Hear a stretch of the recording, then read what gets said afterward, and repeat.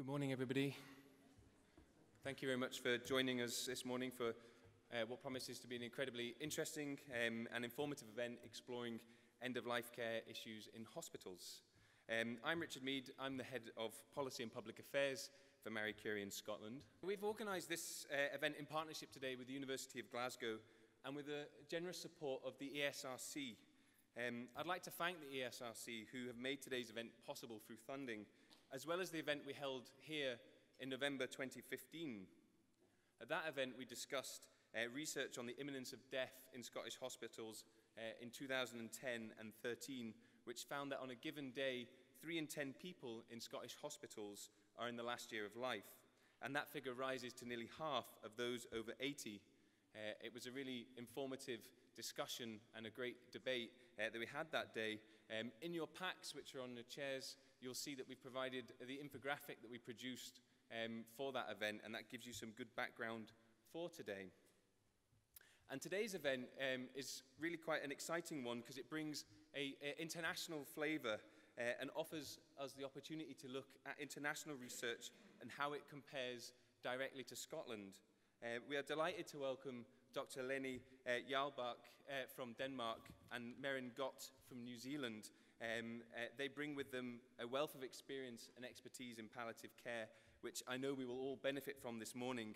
Thank you so much for agreeing to join us. Uh, you're very welcome uh, to hear, and we look forward to hearing what you have to say and how it compares to Scotland. Um, they will, of course, be comparing their findings to the work of Professor David Clark from the University of Glasgow. His two studies looking at the imminence of death in Scottish hospitals um, has helped shame, uh, shape and inform public policy over the last three years. And Professor Clark has also recently been recognised for his contribution to palliative and end-of-life care, having been awarded an OBE in the Queen's recent birthday honours list. I'm sure I can say on behalf of everybody here, David, many congratulations and very well deserved.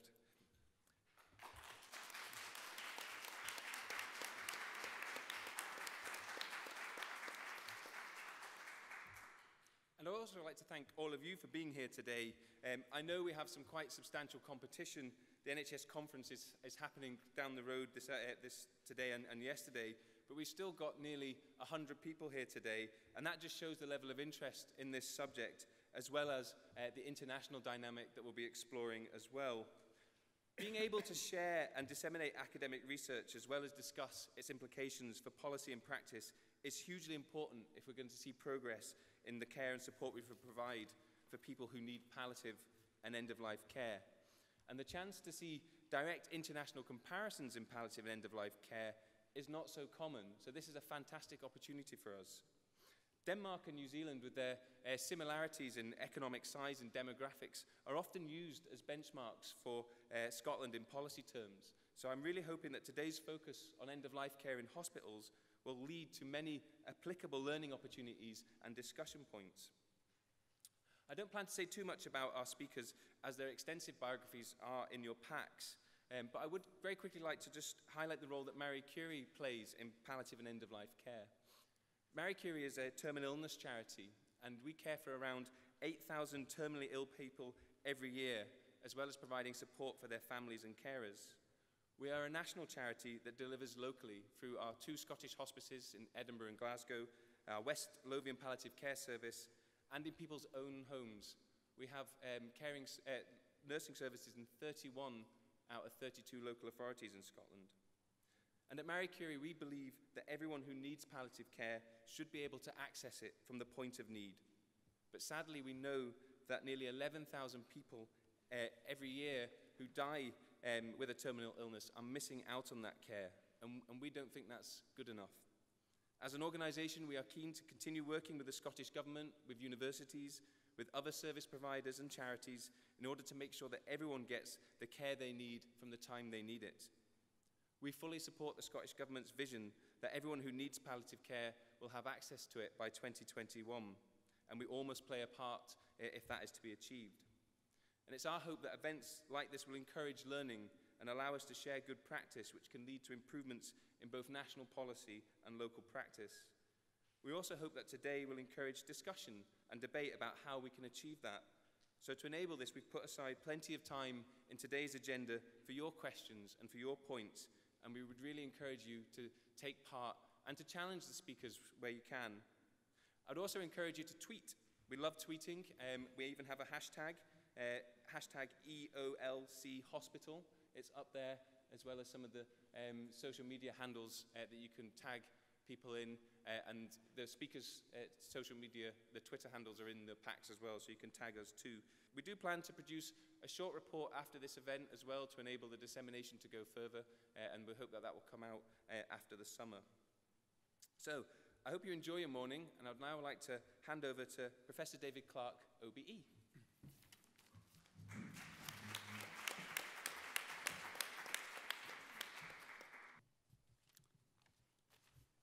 Okay, well, good morning, everybody. Thank you, Richard, for that introduction and, and welcome everyone to this event. Um, it's always interesting to be working with Marie Curie as an organization. Um, it was founded in 1948, so it'll have a, a nice anniversary next year. And um, the surgeon, Ronald Raven, who, who was a cancer surgeon, um, was the first scientific uh, director for Marie Curie in, in the early 1960s, he, he published a five volume set of works on, on cancer. And um, towards the end of editing this massive set of tomes, he, he invited Cicely Saunders, in fact, to write the last chapter on terminal care. And it was quite a breakthrough for her to, um, to have that opportunity to get her work uh, known in that kind of context. But it was also Raven who um, uh, chaired the group of uh, Marie Curie Foundation, uh, Marie, Curie, Marie, Curie, Memorial, as it was then called, uh, and the Queen's Institute of District Nursing that did what you could regard as the first ever needs assessment for palliative care that was conducted in 1951 52 uh, in all the countries of the United Kingdom and um, surveyed about 7,000 people living at home with cancer and really showed a dreadful uh, picture of, uh, of neglect and isolation and physical and, and mental suffering and uh, social disadvantage. So we continue to follow in those footsteps, trying to do pieces of work that can add to uh, discussion about the improvement of end of life care for people in our country and, and to continue to build uh, evidence uh, in support of policy. Um, it's a bit of a story today about, about this study. I'll, I'll, I'll try and say a little bit more about, uh, about that as we, as we go along. Um, as, as with Richard, just briefly to acknowledge uh, our funders, especially the ESRC um, Impact Acceler Acceleration Fund, which allows the university to put on, in partnership with others, events uh, of this nature, uh, giving us a chance to uh, share findings with, with other people. What I wanted to do was to begin by uh, highlighting a number of um, initiatives that have occurred in Britain and Ireland in the last few years that have, have made a focus on um, issues of uh, end of life care in the hospitals. And um, I'll maybe just stay with this slide for a bit because there were supposed to be some others following it. Um, I think the one that uh, is most um, sort of uh, familiar to me and, and, and uppermost in my mind is the Hospice Friendly Hospitals program in Ireland, which I was involved in. Um, it's still going. It, began uh, about 10, 12 years ago. And um, the whole idea of that program was to raise awareness across all of the acute and community hospitals in the Republic of Ireland uh, of the importance of end of life care not simply as a matter for palliative care specialists, but for what they called the whole hospital system. Uh, they talked about it from car park to mortuary, uh, to do with signage, to do with the way in which um, non clinical staff uh, can be sensitized to the needs of uh, dying people and, and bereaved relatives, uh, to look at ways in which some of the daily routines of the hospital can become more sensitive to end of life care issues, for example, moving the body of somebody who's died uh, from one part of the hospital to another uh, in a way that's respectful, dignified, accompanied by certain rituals, and which enables others to know as the body moves through the hospital that uh, this is in fact what's taking place, or even to signal on the ward uh, with uh, a kind of Celtic symbol uh, that uh, at, at the nursing station that somebody has died in the previous 12 hours. Um, ideas about improving the way in which the relatives, uh, the uh, possessions of a deceased person are returned to relatives in a, in a, a dignified and, and thoughtful way. Um, the Hospice Friendly Hospitals program was uh, and remains active in, in, in all of these areas, and it did a, a major audit of uh, the deaths of a thousand people in Irish hospitals, and out of that produced a set of guidelines which are still current uh, uh, for uh, the uh, appropriate care of people at the end of life in, in the hospital context. Um, here in Scotland, uh, around the same time that uh, Hospice Friendly Hospitals was getting going, there was a short life working group that came out of the Living and Dying Well uh, initiative that um, made recommendations uh, about the embedding of uh, palliative care within the culture and practice of uh, acute hospitals uh, across the country. Uh, and was again flagging up the, the issue of uh, people in hospital who have end of life needs and how, how these might be met in a systematic way.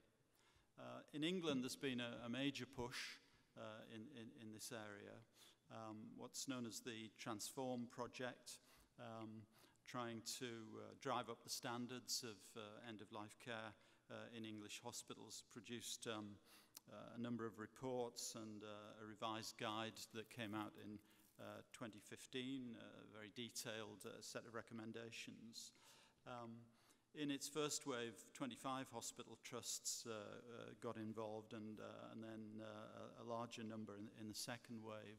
And what you'll see when you look at the, um, uh, the recommendations and, and publications that have come out of this initiative is not just an emphasis, as with uh, the Hospice Friendly Hospitals program, on um, clinical dimensions of uh, end of life care in the hospital, but also things like trying to ensure that somebody on the board of the hospital, perhaps a non-clinical board member, is taking a special interest in this issue, is advocating for it, is uh, drawing attention to it, uh, trying to make others aware that in the hurly-burly of the acute hospital setting, we, we continue to have to pay attention to uh, terminal care, end-of-life care needs uh, of patients uh, and their families.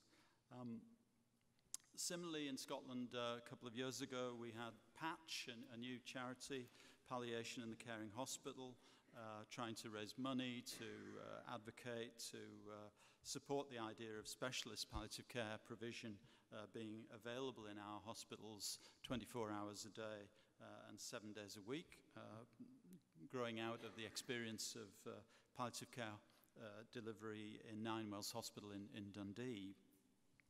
Um, more recently, um, Mark Hazelwood kindly uh, alerted me to, to this initiative.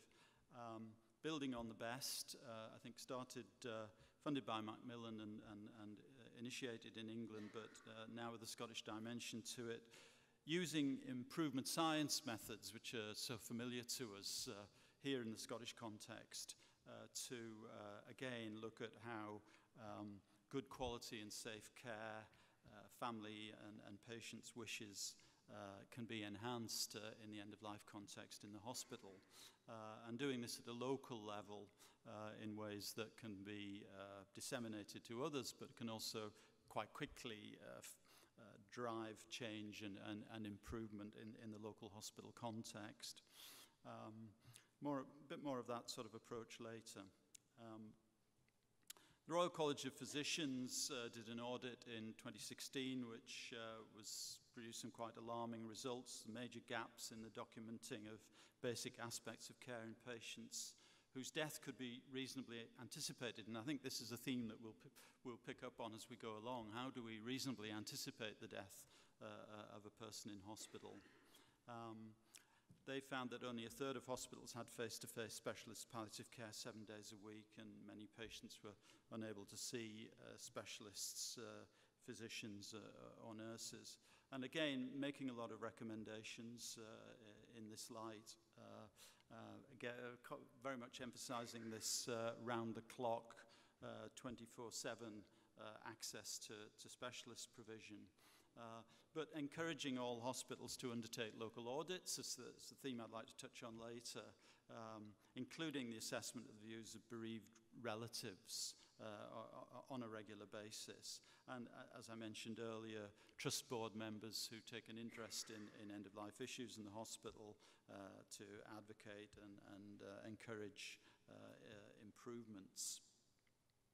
So um, lots of interest, and um, some of it driven by um, slightly alarmist and, and, and one might say concerning findings that have come out of the Care Quality Commission uh, inspections of, hospices, of hospitals uh, in England. Uh, all of this work uh, gathered up uh, recently in a, a, report published earlier this year uh, by Sir Mike Richards, um, where it concluded that 33% of the hospitals inspected uh, required improvement in their, uh, the quality of their end of life care, and 4% were, uh, quite frankly, inadequate. But I think the bigger point here was in the introduction to, to this report, which I, have quoted uh, in, in italics here, because it really points uh, to a kind of, again, a system wide issue that many uh, people uh, in the NHS and working in social care uh, are trying to grapple with, which is really about the appropriateness of our entire structure and, and, and set of systems uh, for caring in a context which has changed so dramatically from 1948 when the Marie Curie Memorial was founded and, and the NHS uh, uh, began.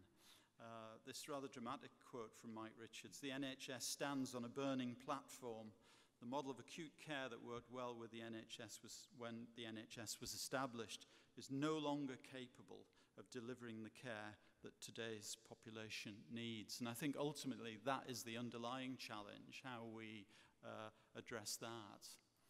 And um, that, it, that takes us far beyond um, small uh, clinical interventions that might or might not be made uh, to um, improve the care of people who are uh, uh, dying in hospital or close to the end of life. So I, I think the, the context, our, our small study, as you'll see, it's, it's very narrowly focused in, in some ways, uh, sits in a much bigger uh, context and uh, arguably a very interesting context of how in our large hospitals uh, we are dealing with the uh, imminence of death of patients, uh, identifying them, uh, responding appropriately, knowing where they are, and, and uh, addressing their needs. Um, the, the story of this study, in fact, goes back, as I've said before in this room, to the hospice friendly hospitals program because it was actually Eugene Murray, the uh, chief executive of the Irish Hospice Foundation, who asked me if it was uh, possible to, on any given day, work out how many people in a hospital would uh, die uh, within a year. And what we discovered was that uh, we couldn't answer that question in Ireland. I, I, don't know whether it can be answered now, but at that time it couldn't be for legal reasons. It wasn't possible to link together the uh, hospital uh, registration data with the death registration data in Ireland for legal reasons. Um, but um, in Scotland, it proved to be both possible uh, uh, legally and uh, technically, and this is where we began with uh, this study to look at, try to address this question of, uh, on any given day in a hospital, uh, how many people are in the last year of life. And um, our study is what's called a prevalent cohort study, so it's a snapshot of people in Scottish hospitals on a single day. Uh, and it's a population based study, it's not a sample. You, you probably hear later on, perhaps from Merryn, other work that, that she has done based on uh, particular uh, specific hospitals. Ours took in all of the uh, major, 25 major uh, teaching and acute hospitals in Scotland, uh, where for the chosen day we were able to link the hospital re records to the subsequent death registrations. And uh, we believe that it was the first study of its kind uh, to be done. And as you'll hear today, it's uh, now been uh, replicated in uh, two other jurisdictions. As you'll be familiar with, I, am fairly sure, um, we, we had nearly 11,000 inpatients in hospital on the chosen day, which is 31st of March 2010.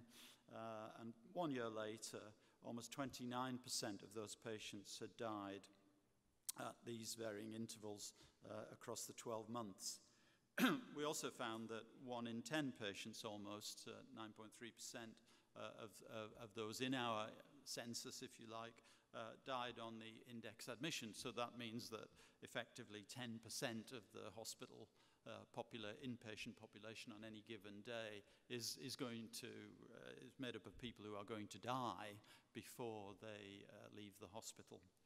Um, so this graph, which I, am pleased to say is, is often used in, uh, in presentations, it's always nice when you bump into clinicians who've uh, seen it used at uh, meetings and, and, and, being discussed, um, shows how this uh, overall finding works uh, both for men and women and by age. And you can see that when you uh, look at the older age groups, the proportions of people in hospital on a given day who will have died within 12 months uh, go up quite dramatically to 54% uh, for, uh, for men aged over 85.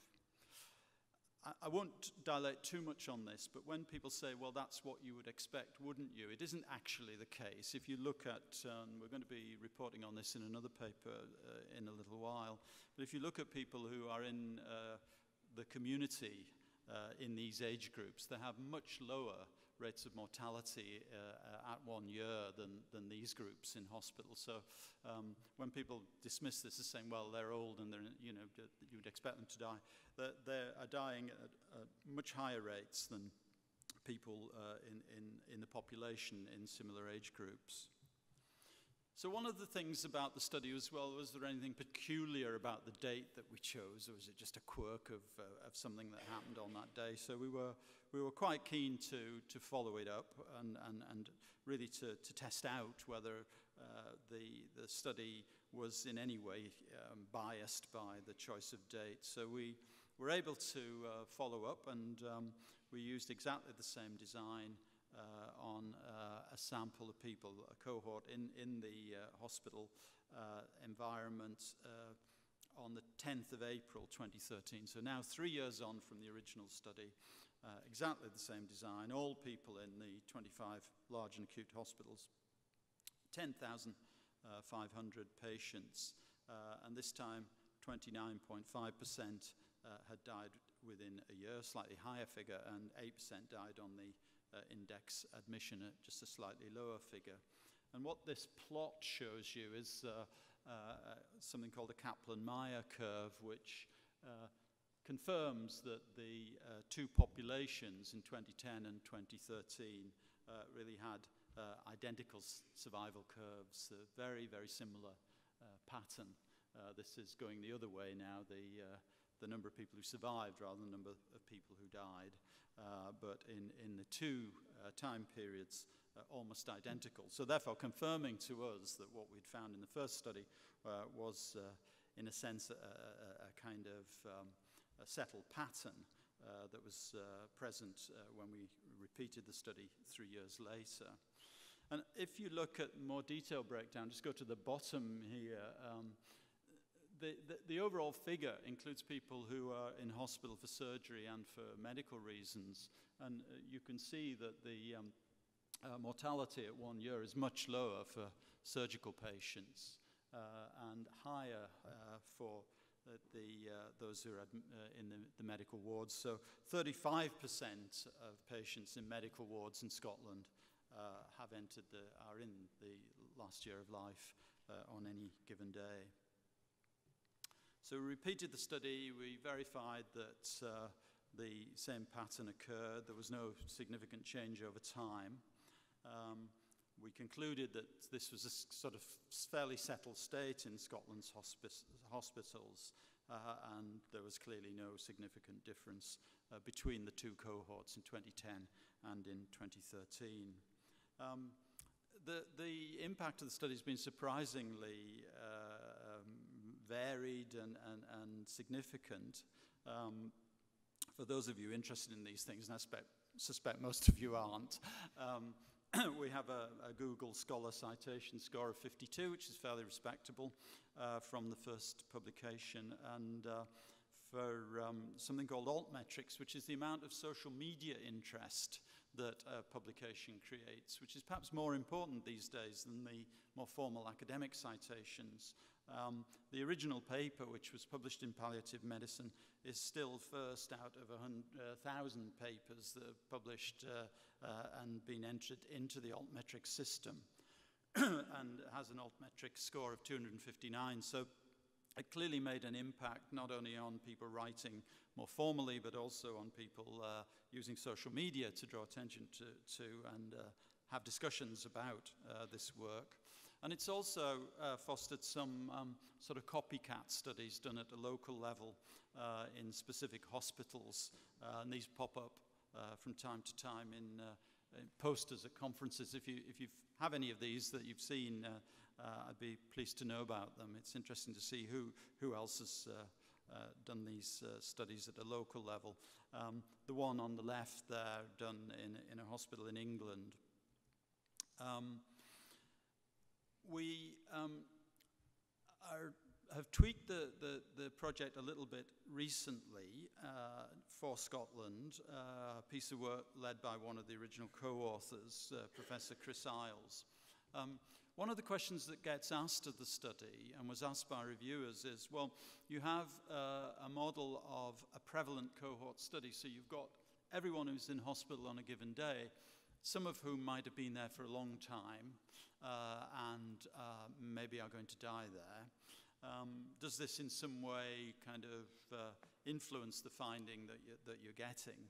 And at least one reviewer told us we'd done the wrong design of the study uh, and that it should be something called an incident cohort study.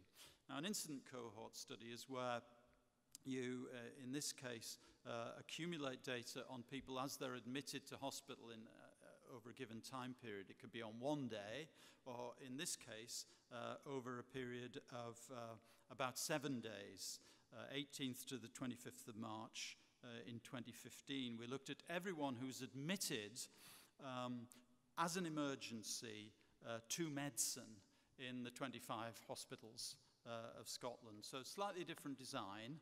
Uh, it hasn't been published yet, um, but just sharing uh, some early results with you. Um, and here we found that 22% uh, died within one year. So that's everyone over a two-week period admitted as, as an emergency to medicine has died. 22% have died uh, in 12 months and almost 6% on the uh, index admission. And in this case, we've done similar analysis. We've broken down by age and, and gender. But we've also distinguished those who had a cancer diagnosis in the previous five years from those who didn't. Uh, and when we looked at the cancer patients, uh, their mortality in one year was 57% uh, in this sample. And of all the deaths that occurred in this group, 68% of them were in hospital. And we found that 48% of all the patients uh, that were admitted to hospitals uh, as emergencies to medicine in this period in 2015 uh, had had a similar admission uh, in the year before. So we're building up a bit more of detail here on, thank you, on um, a slightly different angle on the same kind of question, looking not at those who are in hospital on a given day, but those who are admitted uh, to, to hospital. And that work is uh, being analysed at the moment, and we, we, hope we'll be able to get it published. Um, but um, you can see uh, highlighted in red here that the, the, largest single group of people who've died within a year uh, are the people who'd had a diagnosis of cancer. And then the, uh, the 85 plus age group, uh, again, almost 42% uh, uh, have died within one year in, in this particular cohort. Um, so where we, do we go from, from here? Um, we um, have had a conversation with Scottish Government and they've agreed that the study has some merit. And um, so they've sort of um, are requiring ISD to do a third iteration of the analysis for the original study. Um, and uh, I, we'll be setting about that quite soon. So that's going to be a date, we'll have to choose a, a, a, date in spring of 2016. You remember the first study was uh, spring of 2010, spring of 2013 for the second study. Uh, the third study will be the spring of 2016, so we'll have this three year interval uh, building up. And um, we're now past one year from uh, a date in the spring uh, of 2016. Uh, in a few months' time, it'll be possible, it isn't quite yet, to link together the uh, hospital registration uh, data with the death registration data. And um, who knows if Richard wants to do this again, uh, we can share the results of that um, in, in due course. Um, we've also developed some things in other ways, and I haven't had a chance to speak to her yet, but I see she is here, Dr. Marian Krawczyk, who's um, had the wonderful success of getting a Lord Kelvin Adam Smith Fellowship at the University of Glasgow. She's a medical anthropologist from Canada who's done a PhD on uh, the uh, care of people uh, at the end of life in uh, uh, hospitals in Canada using ethnographic methods. She's going to come to work with our team, uh, and we hope stay beyond that um, over the next three years. Um, on a systematic review of uh, more ethnographic research uh, that's been published on uh, end of life issues in hospitals, and also developing some new empirical research, taking some of these broader findings from our study uh, uh, as a backdrop. And what Marian has already shown is that there's a lot of writing on um, how, on the fine grained perspective of how death and dying are managed in the hospital context. Um, surprising number of studies 23 books, chapters in bu- uh, books, 150 mm, plus articles. Um, not much is known about this work, and uh, we would like to dig into it more and see what can be learned from it. Uh, I think there's a bit of a knowledge transfer issue around this. So, this is the first step for, for Marian in, in, in uh, her new work. Uh, and we hope that this will somehow complement some of the questions or, or, even address some of the questions that emerge out of the, uh, the study itself of uh, imminence of death among hospital patients, about how, how these patients might be identified, how they're being identified, what the clinical responses to them uh, look like when, when, when, when that occurs. And again, what wider systems factors might be shaping uh, the ability of a hospital to better engage with uh, those whose death is, uh, is imminent uh, or, or, to be expected. Um, these are the publications that have emerged from the original study, and um, it's had some success as well. It's been nominated for prizes and things. But the, the, the next step in the story, uh, which I'll hand over to uh, uh, Lene to tell, is the idea that well, we have this result for Scotland. Um, how might this play in other places? And um, we're very keen to see other countries develop the imminence of death study using the same or improved methods. And um, I was hoping that by today we might have had um, some results from England on this. Um, that hasn't happened, but we're still trying to get a study off the ground in England that would use the same methodology. Um, I've been working a little bit with Professor Paul Aylin on this idea um, at uh, Imperial College London, but we haven't yet managed to get the study up and running. But we have managed to do it in, Denmark uh, and in New Zealand, and as you'll hear, um, for the, what was the second Scottish study, we combined our efforts um, chose the same census day uh, for three countries that, as uh, Richard has said, are often aligned a little bit in policy discussions, particularly Scotland, Denmark. Uh, three countries which are almost of exactly uh, the same population and in some ways have very similar geographies uh, to one another. Um, so this is uh, the new bit for today. Uh, most of what I've said has been published. Um, apart from the, the, the latest work from Chris Isles. Um, so this is where we are now, um, and um, I, as much as anybody, am looking forward to hearing more about the, the results of the studies from, uh, from from Denmark and New Zealand. If New Zealand was in the European Union, it would feel a bit like the Eurovision Song Contest. Can we have the results from Denmark, please? Um, so thank you for listening, and uh, I hope you'll very much enjoy uh, the next two speakers. Thank you very much.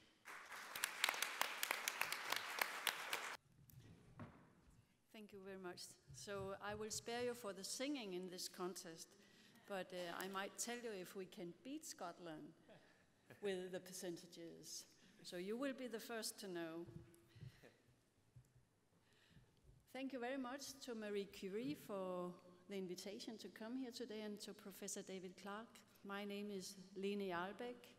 I work in REHPA, the Danish Knowledge Center for Rehabilitation and Palliative Care. Um, I am, as a background, I am a clinical oncologist and clinical pharmacologist, and I have a PhD in pharmacoepidemiology. Um, it took me four years to learn to say the word. Uh, and it's about uh, cancer patients' use of opioids. So, this is something about my background. The presentation today will be divided in two parts. I will tell you a little about uh, REHPA, the organization I work in. You will have some background figures from Denmark, uh, the Danish healthcare system, and a little about how we have organized palliative care in Denmark. And then I will come to the real focus of the talk today, the reason why I'm here in your nice Glasgow. So it will be the imminence of death in Danish hospitals. And uh, I will show you a little about uh, the hospitals, uh, our hospitals who are involved, and uh, which specialities come across the patients, the causes why they were actually hospitalized, and for those who died, why they, why they died. So REHPA is uh, an organization who has the aim of sharing and developing knowledge within the field of rehabilitation and palliative care for patients with life-threatening diseases. And we try to target uh, different kinds of uh, people in the society. It will be healthcare persons, uh, lay persons, politicians, and managers. We are located in, uh, with an office in each of the five regions Denmark is divided in, and our head office is in the southern region of Denmark, uh, lying in a city called Nyborg. And we had the pleasure to have David to visit us uh, two weeks ago, and I hope he will return to Nyborg, even though the sushi was bad. um, in Denmark, we have a population of 5.6 million persons. The average lifespan for men is uh, 78.8 years, and for women, it's 82.8 years. In 2013, the year we're looking at, we had a number of deaths of a little more than 52,000. 45% of them died in hospital, and 44 died at home, which means either in your own home or in a caring facility. And the rest, 11%, died in other places.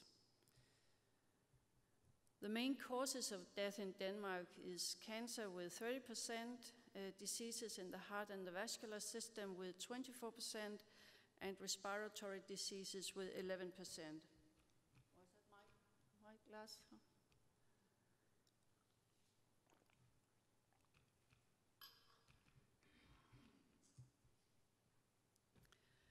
We run our health, it's free to have healthcare in Denmark, uh, and we have a secondary healthcare sector which is administered in each of the five regions.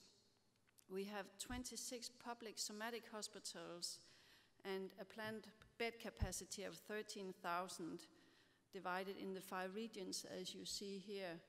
Um, and 97% of the beds are in Denmark are actually public publicly uh, funded. And the primary healthcare sector covers uh, 98 municipalities in Denmark, and we have around 3.5 thousand general practitioners. So this is something about the scene that the numbers I will give you shortly will come from. The palliative care is divided in the generalist palliative care and the specialist palliative care as it is in Scotland and New Zealand. So the palliative care provided in any type of hospital departments, in the primary home care and among the general practitioners is uh, the generalist palliative care. There are key persons within the generalist palliative care with varying education in palliative care, very often nurses. For the specialist palliative care, we have three types of units. It's the palliative care teams who go on home visits, uh, the palliative hospital departments, and the hospices. The hospices are actually uh, institutions for themselves outside the healthcare system, but they are publicly funded. And uh, by nature, the specialist palliative care is interdisciplinary, also in the hospices. And this slide shows you how uh, specialized palliative care has developed in Denmark since we had the first hospice uh, back in 1992. So now we have 20 hospices, we have nine palliative departments, and 26 palliative teams.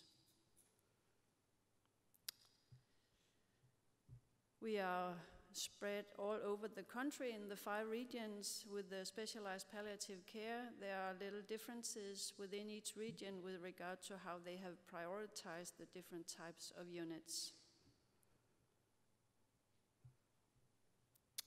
So this is was the background in Denmark, and uh, now I come to the real focus of the talk. Uh, and as David has shown you, th um, around 30% had died within one year in Scotland. So now what will the percentages be in Denmark? Maybe you will ask yourself after you have been listening to us whether you would like to go to hospital in Scotland, Denmark or New Zealand. yes. The index date was the 10th of April 2013. It was a Wednesday in the spring and we included all patients who were in the somatic uh, public hospitals, except for those who were in the obstetric departments and patients in psychiatric hospitals. And we followed the patients one year until the 10th of April 2014 with regard to death or whether they survived the year. In all, we had 13,412 patients who were in hospital at the date or were admitted and stayed overnight. And there were almost equally uh, many women and men. The median age of the patients was 67 years and the mean age was 61 year. The median age is uh, the age that actually divides the population in two equally large parts. And the mean age is just an average. So what happens if we take those who deceased, uh, who, those who died and those who survived and look at the same figures?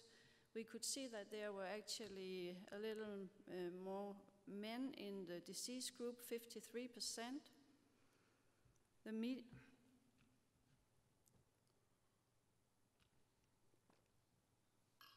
The median age in the disease group was 75.8 years comparing to 64 years in the survivors group.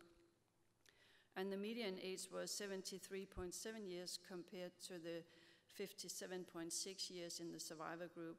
So I guess that the important uh, message here is the big difference between the age among those who deceased and those who survived.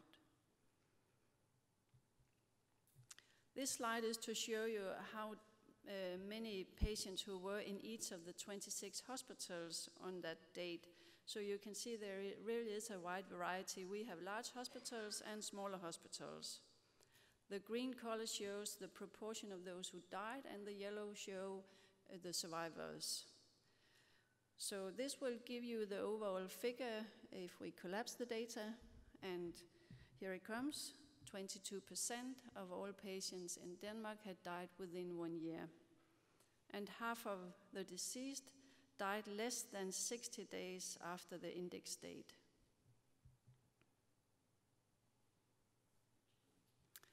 This is just another way to show you the, differences in each of the hospitals. Uh, this slide shows you the proportion of those who died within one year divided in each hospital. And the hospital on the far left, patients were mostly admitted due to medical reasons. And the hospital on the far right is actually the largest hospital in Denmark, Rigshospitalet, uh, and they only have 14% who died within one year. So what is the explanation for that range uh, differences? At least one explanation is age. If we take the mean age or median age for each hospital, we can see that the old persons are in the hospitals to the left and the younger ones are in the hospital to the right. Now, if we then look at the categories of specialities that the patients come across and look the proportions, we actually have almost the same figures as those you were shown by David Clark. So if you came to a surgical specialty, 15% had died within one year, and I recall it was around 18% in Scotland. And the medical uh, specialities almost had the double up with 27% who had died, and it was a little higher in Scotland, uh, 35%. Um, now, if you look at the oncology and hematology departments, not very surprisingly, very many had died within one year, 50%. If we then take and break down the categories of specialities into each single specialty, again you can see a wide range in each specialty.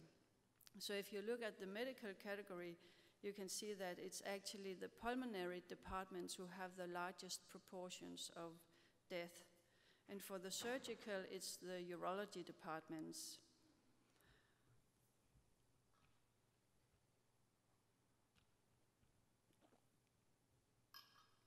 And the anesthesiological departments actually also has a pretty high proportion.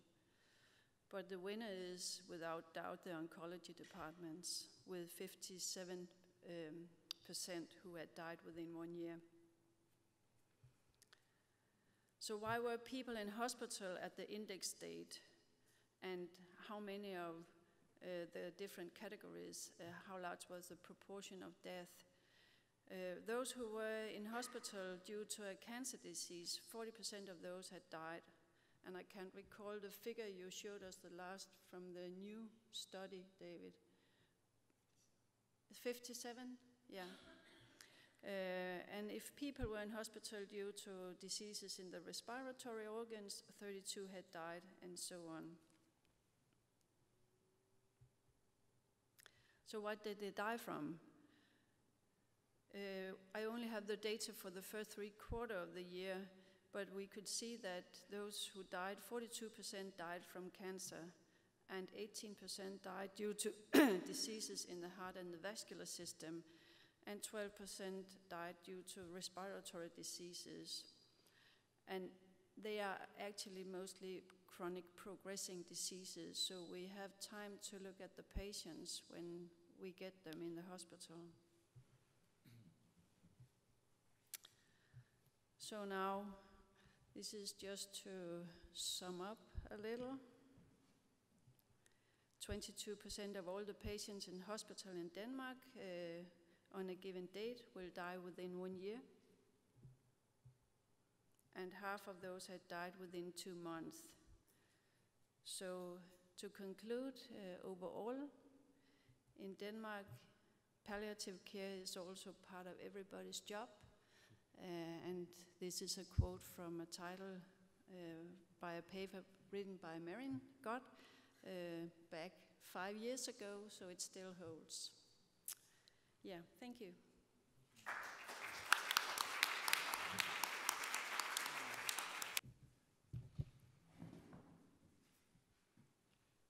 Okay, well, Mōrena tātou, good morning, everybody, um, and many thanks to Marie Curie Scotland for inviting me to speak about the New Zealand experience.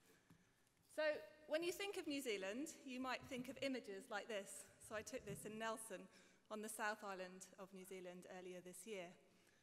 Or you might think of well-known facts, such as the fact that New Zealand has more sheep than people. It's about six to one at the last count. Or you might even think of less well-known facts, that including um, the, the fact which I found really surprising, that New Zealand has the most pipe bands per capita of any country in the world, including Scotland. I'm guessing that might be a controversial one. Yes. Um, but I think um, I'd hazard a guess to suggest what you won't think about um, is this. I certainly haven't seen this in any of the tourist information promoting New Zealand. Um, but this was the conclusion of a study um, that was published um, and conducted in The Economist, which looked at quality of death internationally and concluded that New Zealand was the third best place in the world to die. I think there are a few issues with that study. Um, perhaps most fundamentally, the underlying premise that you can use the same measures to look at quality of dying in different countries without thinking about the cultural context within which ideas about a good death are formulated. But I think it's helpful um, to give you some sort of benchmark as to where New Zealand is, particularly in terms of palliative care development. Um, so New Zealand has quite a well-developed um, network of palliative care services. There are about 35 hospices in New Zealand. The first opened in Wellington in 1979. Um, and there are about 14 um, hospital palliative care services. And I keep saying about because these, um, these services are always in flux. And one of the issues we have in New Zealand is um, capturing um, these sort of data. But in line with other countries, including, I believe, Scotland, there are also issues. So the coverage of palliative care services is not even, with rural areas particularly at risk of not having access. Um, and we also have issues with an aging clinical workforce and particular problems with, with reappointing um, palliative medicine consultants and, and filling those sorts of posts. I think also in line with other countries, we're on rather an uncertain journey in terms of where we're headed with palliative care development. So, like many other countries, we have a rapidly aging population um, with palliative care need increasingly concentrated amongst people age over 85. And obviously there are, there, that's a, it's a cause for celebration that, that people are living longer, um, but there are obviously complexities in terms of palliative care management um, within that age group. Um, in New Zealand, um, you might also be aware that we're a bicultural society, so the rights of Māori are enshrined under the Treaty of Waitangi, uh, which was signed in 1840, and my research group is bicultural as, as a reflection of that, and as a reflection of the need for all palliative care development moving forward to be responsive to the aspirations and needs of Māori. And Auckland is also one of the most culturally and ethnically diverse cities in the world. So as well as the needs of Māori, we have rapidly growing um, Asian populations, particularly Chinese and Korean people, and Pacific Island populations as well. So these are all things to factor into thinking about um, palliative care management moving forward. And in case you're interested and you're using these slides as a bit of a guide to where you might want to go in New Zealand on holiday, this is um, Muriwai on the west coast um, of, of Auckland. And it's one of the many beach roads in New Zealand. So my colleague Heather McLeod did a project projection of palliative care need in New Zealand for the Ministry of Health. Um, and as you can see, you don't really need to look at the detail, but just the shape of the curve is really striking. So she concluded that need for palliative care will almost double in the next 20 years, so in a very short time scale, and that need will be particularly concentrated, as I said, in that over 85 age group.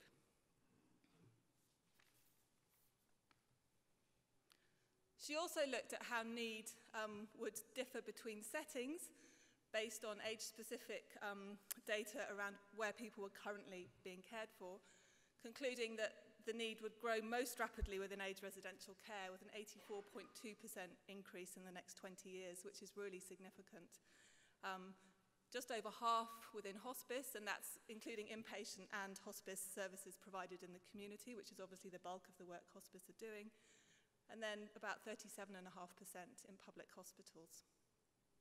And I'll return to this issue around aged residential care as I move forward, because I think this might be one of the, the, the differences that we're seeing between what's happening in New Zealand and what might be happening in Scotland. So, like all other um, departments of health and Ministry of Health, um, there has been thought now given to what needs to happen in terms of palliative care management in the future. Um, I should say this is Barbara Broom, so she's the consumer representative on the Palliative Care Advisory Panel, which I chair. And we recently advised the Ministry of Health um, in preparing and conducting a review of what was happening at the moment and in developing an action plan in relation to what we thought the priorities collectively should be for palliative care development into the future. And I'm sure there'll be a lot of resonances for you with the priorities that were identified. So the first was around increasing emphasis on primary palliative care or generalist palliative care, improving quality in all settings. And so this really spoke to a recognition as well of the need. We kept talking about the need to focus on hospital. To grow the capability of family carers and communities. So you can see it's moving a bit more into a public health space. Um, we desperately need to know more about the experiences of people with palliative care needs and their families. And also ensuring stronger strategic connections. And one example of that is these actions are also written into the Health of Older People strategy. So I think um, for us it was important that it wasn't just a palliative care issue, that there was recognition that there were other, other bodies um, who should be taking this on.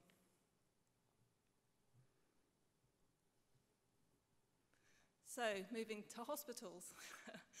I know you're all waiting on tenterhooks to hear what the, the results from New Zealand will be.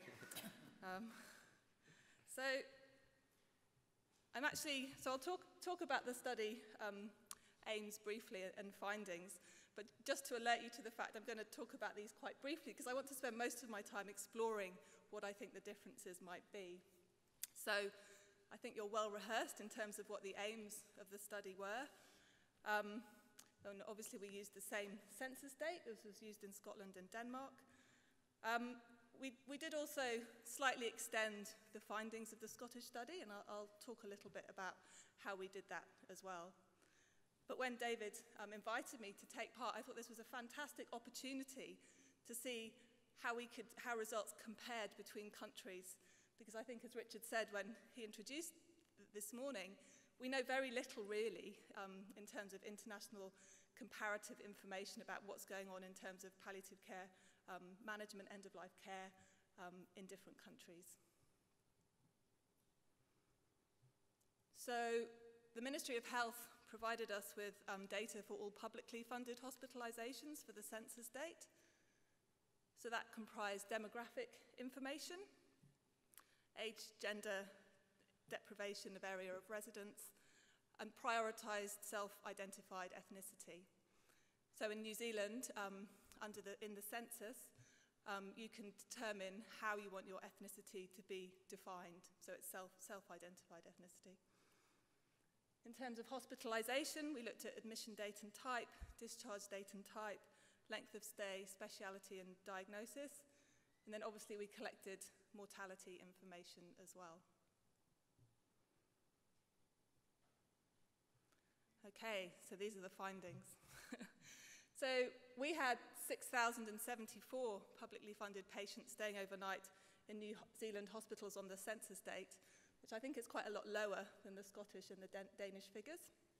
Um, you can see that slightly more women than men were represented, um, and 42% of patients were under 60. And I think this is another difference that I'll talk to a little bit more in a minute that we, we had a younger um, hospital inpatient population, certainly than the Scottish study.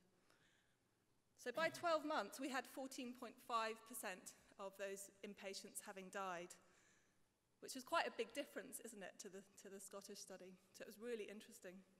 Um, and you can see that 1.6% had died by seven days, almost 11% by six months, um, and 14.5% by 12 months. And during the index stay, this is where we saw another big difference, um, we had 135 patients, or 2.1%, die. And that accounted for almost 15% of the total deaths within the 12 month period. So, if you're anything like me, you might find it hard to absorb statistics when they're presented um, in, in forums like this. I'm sure lots of you are completely au fait with doing that. But for those of you who are like me, I've just summarized um, them briefly. So the headline findings are that 14.5% of patients had died within 12 months and 2.1% had died during the index stay. And so that compared to 30% of patients in Scotland, um, 8% during the index stay. And unfortunately, um, I, did, I, haven't got the, the, Danish figures up yet um, to compare, but um, I think Lene was saying that that was 22% for Denmark. And how many during the index stay, Lene? Um, Sorry. I think it was 66 persons. Okay. index date. Mm. I haven't calculated during the index stay. Oh, okay, okay. Sorry, I know questions like that are the ones you don't want to, to get, aren't they? um, so this is really interesting, I think, because it, it really paints a, a different picture of hospital use in New Zealand, certainly to what's going on in Scotland. Um, so we looked at predictors of dying within 12 months. We did some modelling. Um, in line with Scotland, we identified older age, which you'd expect. Um, living in an area of high deprivation. Although I should point out for the New Zealand data, this actually became non-significant when we added history of cancer and being of Māori ethnicity into the model. And then the additional variables that we looked at were history of cancer. Again, you know, you would expect that to be a predictor. And also being of Māori ethnicity. Um, again, it's, it's, not unexpected because it points to the health inequalities um, still experienced by Māori as a result of, of colonisation, um, and maybe particularly the higher prevalence of chronic conditions amongst Māori, and the fact that we know um, that many Māori present late to health services and so are more likely to present at a late stage, particularly with, with um, late stage cancer. So we are left with this picture of, you know, we know it's different, but why might that be? Because I think this is where the interesting issues for policy come in. And I should certainly start out with a caveat by saying, you know, the study wasn't set up to answer the question of why. So these are um, my speculations and, and, following discussions with my colleagues as well. I'd certainly be interested in, in some of your thoughts. So I have three different um, explanations that I just wanted to, to talk through um, briefly. So, the first explanation is around the different age structure of hospital users, and, and I've talked a little bit about that already. Um, so, 73% of Scottish inpatients were over 60, and 32% were over 80. And that compared to 42% of the New Zealand inpatients, of whom 17% were over 80. I think it does speak to differences. It obviously speaks to differences in, in the nature of the hospital populations, but also the age structures of the populations are different. Um, and this is largely due to the high proportion of immigration we have in New Zealand. Um, so there's quite a bulge in um, sort of adults of, of migrant age represented in there. So it is quite sort of common sense, and you might say there's you know, not much modification you can do, but I think it's important to acknowledge because increasingly um, I think we look at end-of-life interventions, um, and certainly in New Zealand there's been a tendency to look at what's happening in, in England and in Scotland and think, oh, that looks great, let's just do that here. Um, but I think this is pointing to um, not just the wider cultural differences, um, but there's also some quite other sort of more fundamental issues relating to the demographic structures of the different populations.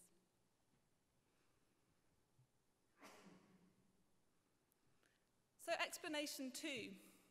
So this is where it gets even, even more speculative, but um, bear with me. So this was really looking um, to explain the difference in the number of people dying during the index day in New Zealand compared to Scotland.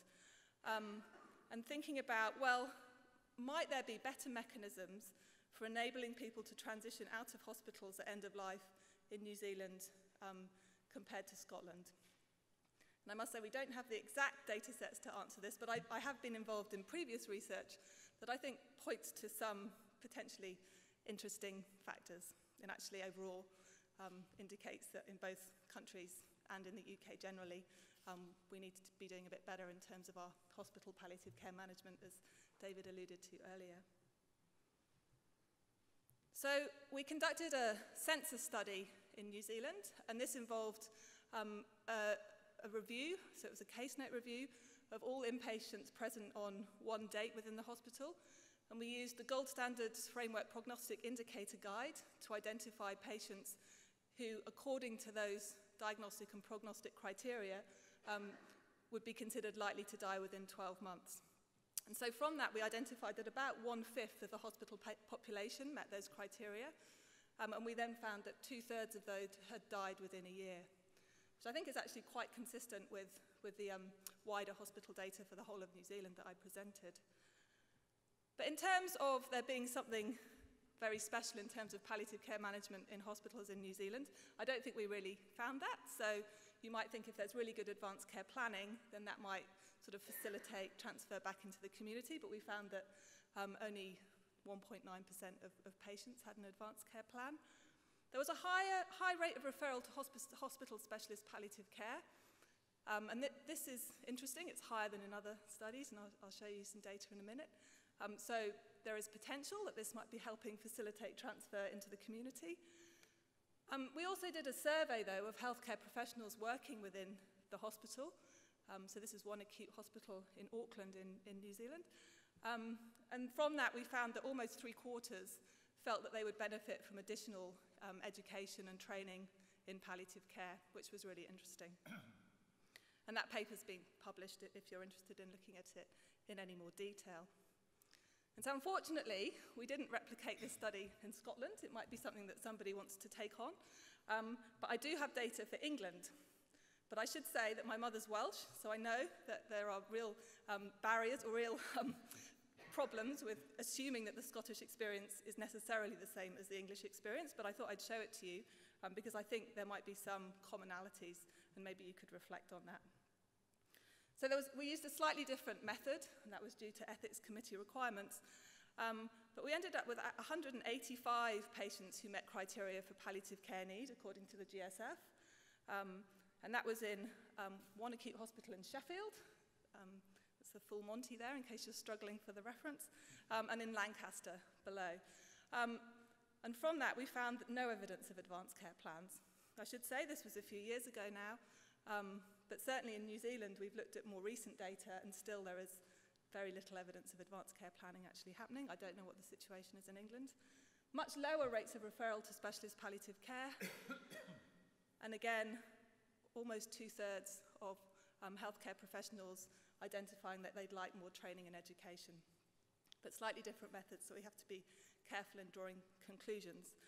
Um, and again, that's been published if you're interested. But I think it does point to the fact that you know, there's, wide, there's advanced care planning, that certainly at that time wasn't really happening um, on either side of the globe. Um, there might be more use of specialist palliative care services in hospitals in New Zealand. Um, but again, that was just in one hospital, and that might be atypical of the rest of New Zealand. And we also did some qualitative work around both studies, and I was glad that David mentioned the need to look kind of in a more nuanced way around what's happening um, to complement the, the numbers that we are producing. And I thought I'd mention this because what was really interesting was that um, this was done at the time when the um, end-of-life program focusing on hospitals had recently been published.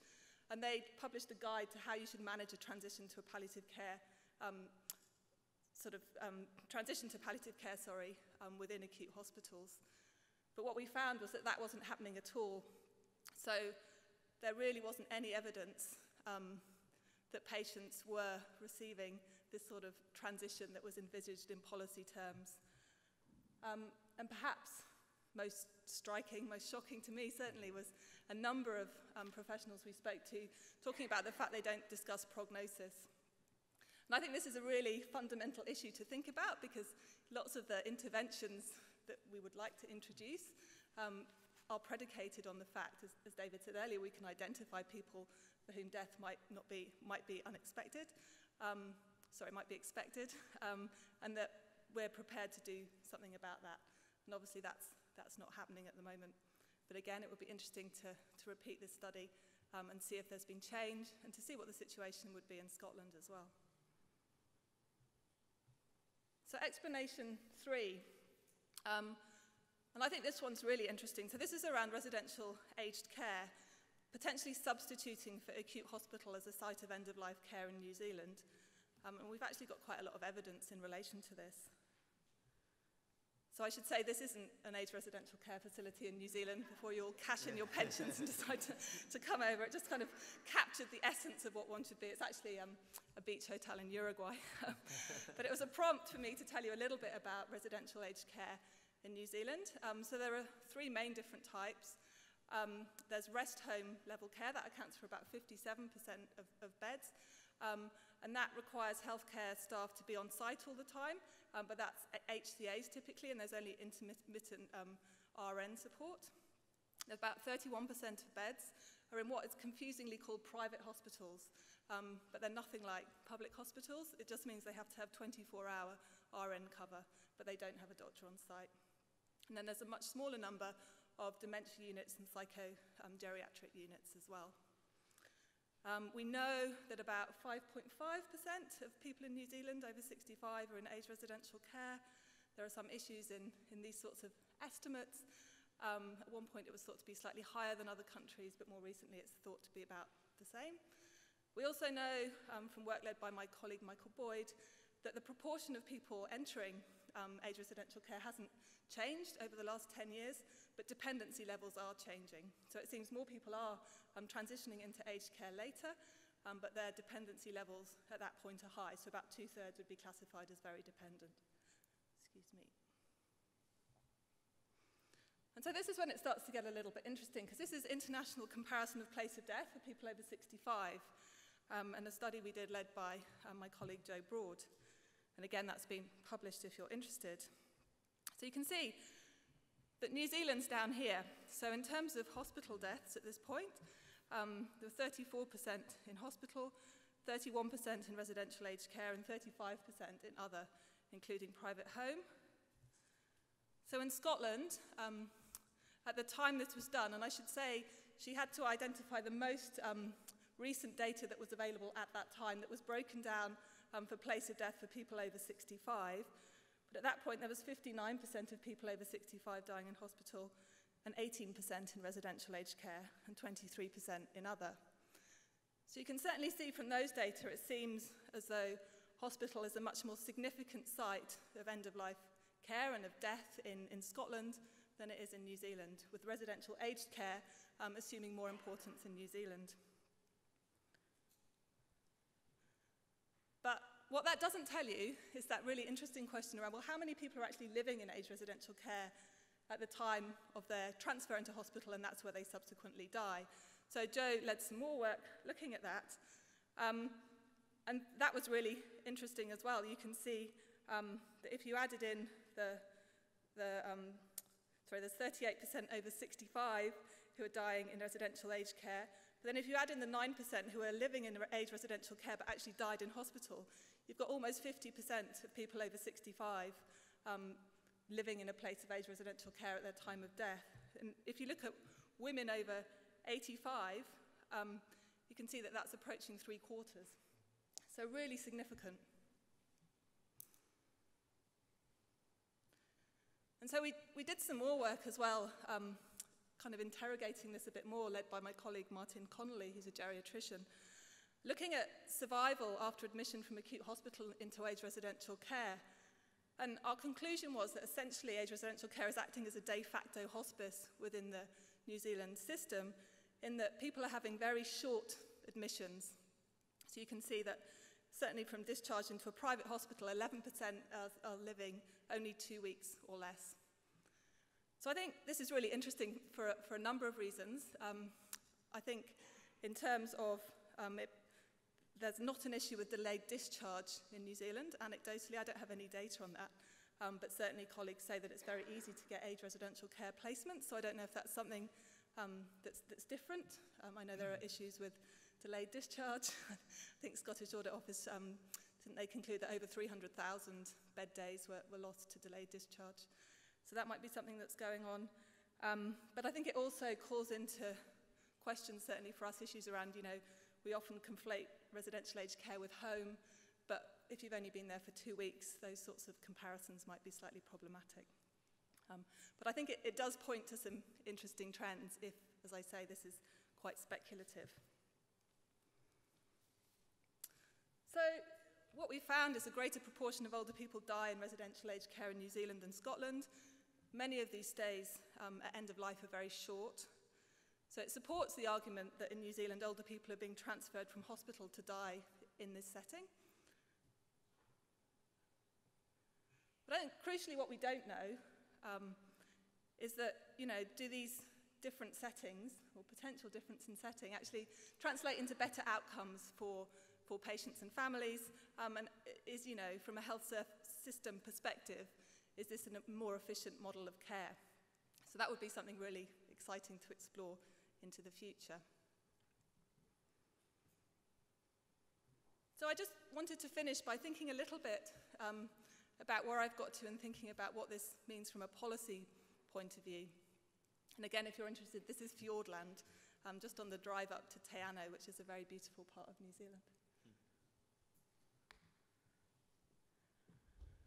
So I think the first um, conclusion is that policy actually does need to address palliative care in hospitals.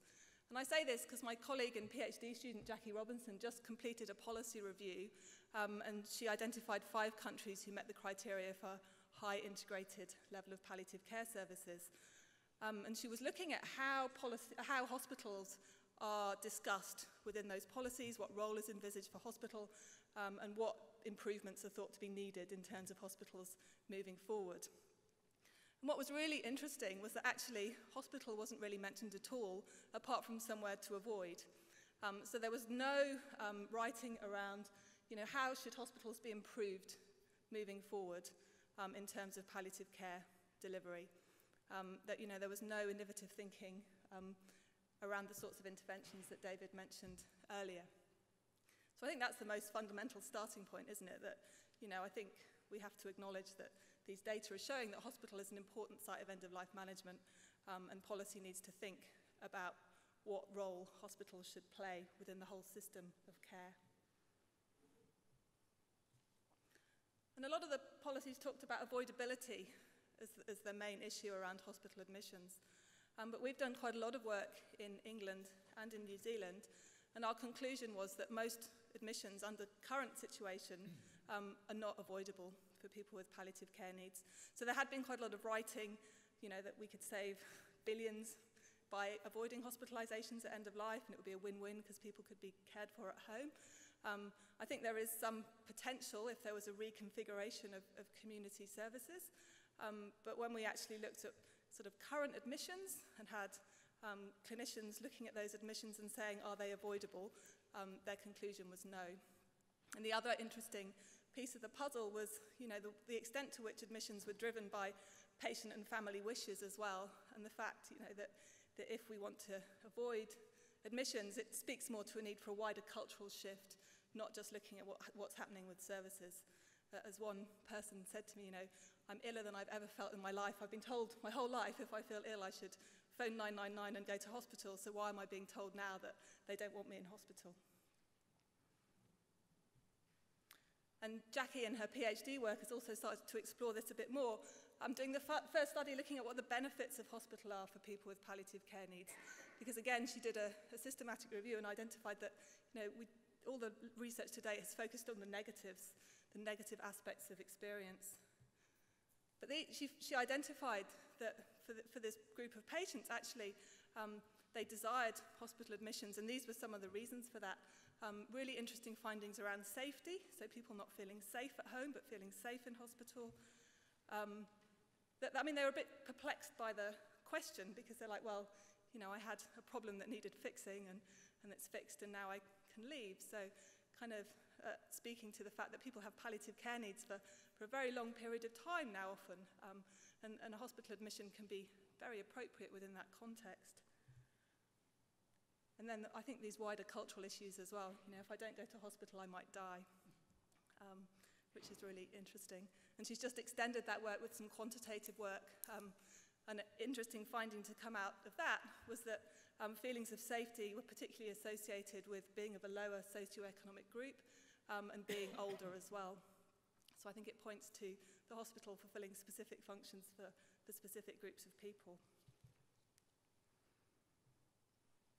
So I know it's your job to ask us questions, um, at the end, but I just wanted to pose a few of my own as well. Because I think the questions we need to be asking are what, you know, what do we actually want the role of the hospital to be at end of life? And I don't think this is just a health services professional researcher um, debate. I mean, this is, this is a wider debate, isn't it? It's about you know, the issues actually David was talking about earlier. What, what is the role of hospitals within contemporary society? And then what do we need for this to be achieved? And as I said, I don't think this is just a service question. This is also looking at the resources within our communities, how well we're supporting carers. And then for us researchers, you know, what research is needed to support these discussions? And what's the, the value and the role of studies such as the one that, that we did? And so I will leave you there. I'd like to thank uh, my co-authors. Thank you again to Marie Curie for inviting me. And if you're interested in what we're up to in New Zealand, um, that's the address for our blog, and we'd always love to hear from you. And if you want to come and visit, then just give me a shout. Thank you very much for your time. Uh, anybody got a starter for 10?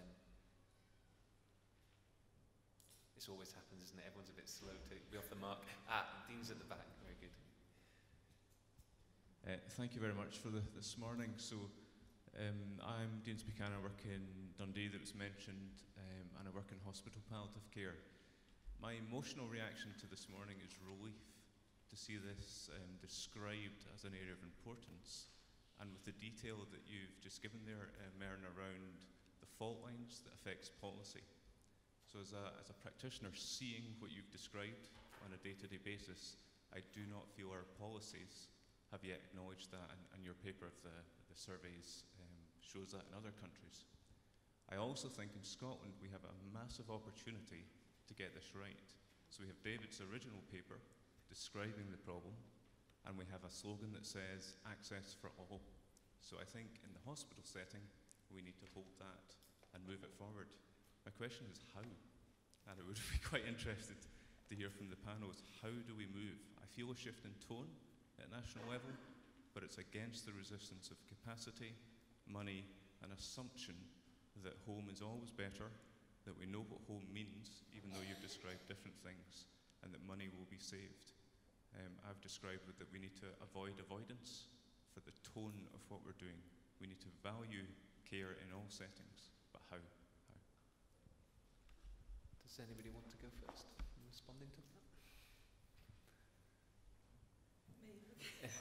okay. Um, well, that's a huge question, but thank you. I, I, that's a really interesting observation that you're, what you're seeing is the same as we're seeing in New Zealand and, and as we saw in England. I mean, I think in New Zealand, um, it's increasingly thinking about integrated care across all the settings. So rather than thinking in a setting-specific way, that's certainly what the DHBs are trying to do. And I actually think what's creating change is, is people like yourself, clinicians who are working there, actually sort of standing up and, and telling their experience of what's happening in hospitals. Because you're right, there is a lot of assumptions and there's a lot of belief that this is a prime area for cost saving. Um, so I think the work we did in, in Auckland Hospital helped demonstrate that that really wasn't the case. Um, and actually, you know, once the, the hospital managers started seeing that the number of bed days that could be saved was so few that you couldn't close a ward, which actually is the only thing they really wanted to do, then, then it became more around um, that sort of quicker discharge. So I think that's definitely a potential area for, for, for improvement, so focusing on, on quicker discharge. Um, but I think, you know, that it's a huge question and really it's looking at interventions at all sorts of different levels, not just within the hospital setting. And David might want to add a little bit more about that because I know he's been looking at sort of multi-level interventions. So I don't know if that helps, but that's kind of a first, first thought.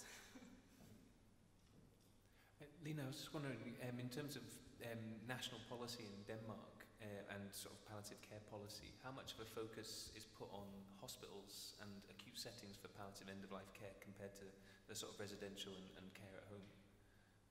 Far too little. that is the short answer. Yeah. It's a little difficult for me to follow when you speak that fast. So, uh, but I can try to answer you in Danish, perhaps. Um, but what I was thinking of with regard to your question, we, we have, uh, as far as I understood your comments and questions, we have considered how to improve uh, the palliative care in the hospitals in Denmark. Uh, and I guess that there are these organizational issues, but still very many in the hospitals think that hospital uh, that palliative care is uh, pain treatment in terminal cancer patients. Uh, so we really have to work also on the culture of implementing palliative care as a thought and, and, and change the culture in the hosp- hospitals. I don't know if that was a comment to your comment. I mean, another thing that's, hap- sorry, that's happening in Auckland is there's a big communications um, program going on, which isn't specifically focused on palliative care, but obviously um, brings great benefit to palliative care. So I think um, sort of identifying issues that aren't palliative care specific can be really helpful as well, because better communication obviously helps in, in lots of different situations. Yeah, I, I don't have simple answers, Dean. So I, I, think sitting behind all this is a broader discussion about what hospitals are for and what we expect of them in society. And I've been getting interested in this uh, following conversations with, with, with Marian. I mean, there was a time when we saw the, the, the hospital as something very isolated from the rest of society. Um, it had its own rules and, and patterns of engagement, codes of practice, and very marked rituals for going in and going out. And then we started to say, well, the, um, the hospital is actually more a mirror of society. Uh, you know, it's, it's society in microcosm. Um, now um, we're, we're at a kind of different stage. I mean, s- some people have borrowed this phrase from Michel Foucault of the, the idea of the hospital as a heterotopia. It means so many different things to different people. Um, I visited the uh, Forth Valley Hospital not long ago to give a talk, and when I went in, I wasn't sure, first of all, whether I was in a shopping mall, or then I thought, oh, it's more like an art gallery. I, I couldn't see any patients anywhere. Um, you know, it was quite a different space and a different environment to, you know, you didn't go in and go, oh, hospital. You know, it was the aroma of coffee and buying clothes and, you know, so the, the nature of what we call the hospital is changing. And uh, the role of uh, end of life care within that needs to be explored. I mean, the, the, the, the hospital's physical environment is altering, but a lot of rhetoric about the new hospitals in Scotland is about the driving down, down of length, the times of length of stay. So, you know, for a long time I've had this idea of the, the revolving door, and uh, that door seems to be turning ever faster. We're building a new hospital in, in Dumfries and Galloway, and people involved in that have been saying to me, you know, quite airily, well, everyone's going to be in a single room, and the average length of stay will be, let's say, 4.2 days or something. Um, and that all sounds very persuasive if you were running a hotel. Um, but then I said, well, have you looked at the results of our study? A third of the people in this context will be in their last year of life.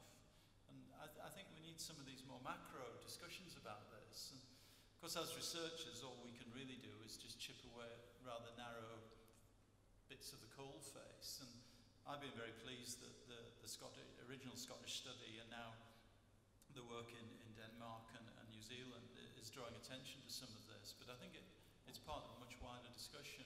And I was very, very impressed with uh, what Merryn was drawing on, which is a great catalogue of studies. Uh, I haven't seen Merryn for about eight years. I, I try to keep up with the output of papers from her group, but obviously I've been failing Merryn because there was some there that I hadn't seen before. But I mean, th- this is to me a, you know, a great illustration of what social science and clinical researchers can do, uh, building up uh, a kind of moving picture of things and, and trying to feed it into to wider discussions, and, and ending on the, the, some of the benefits of, of care in the hospital. I mean, there's been this tendency in recent years to somehow demonise the hospital. You know, it's the wrong place to be when you're dying. Well, it, that really depends on how it's organised. So I, I- I think it's not easy to answer these questions, but um, we, need, we need a broader discussion about them. Um, lady down the front here.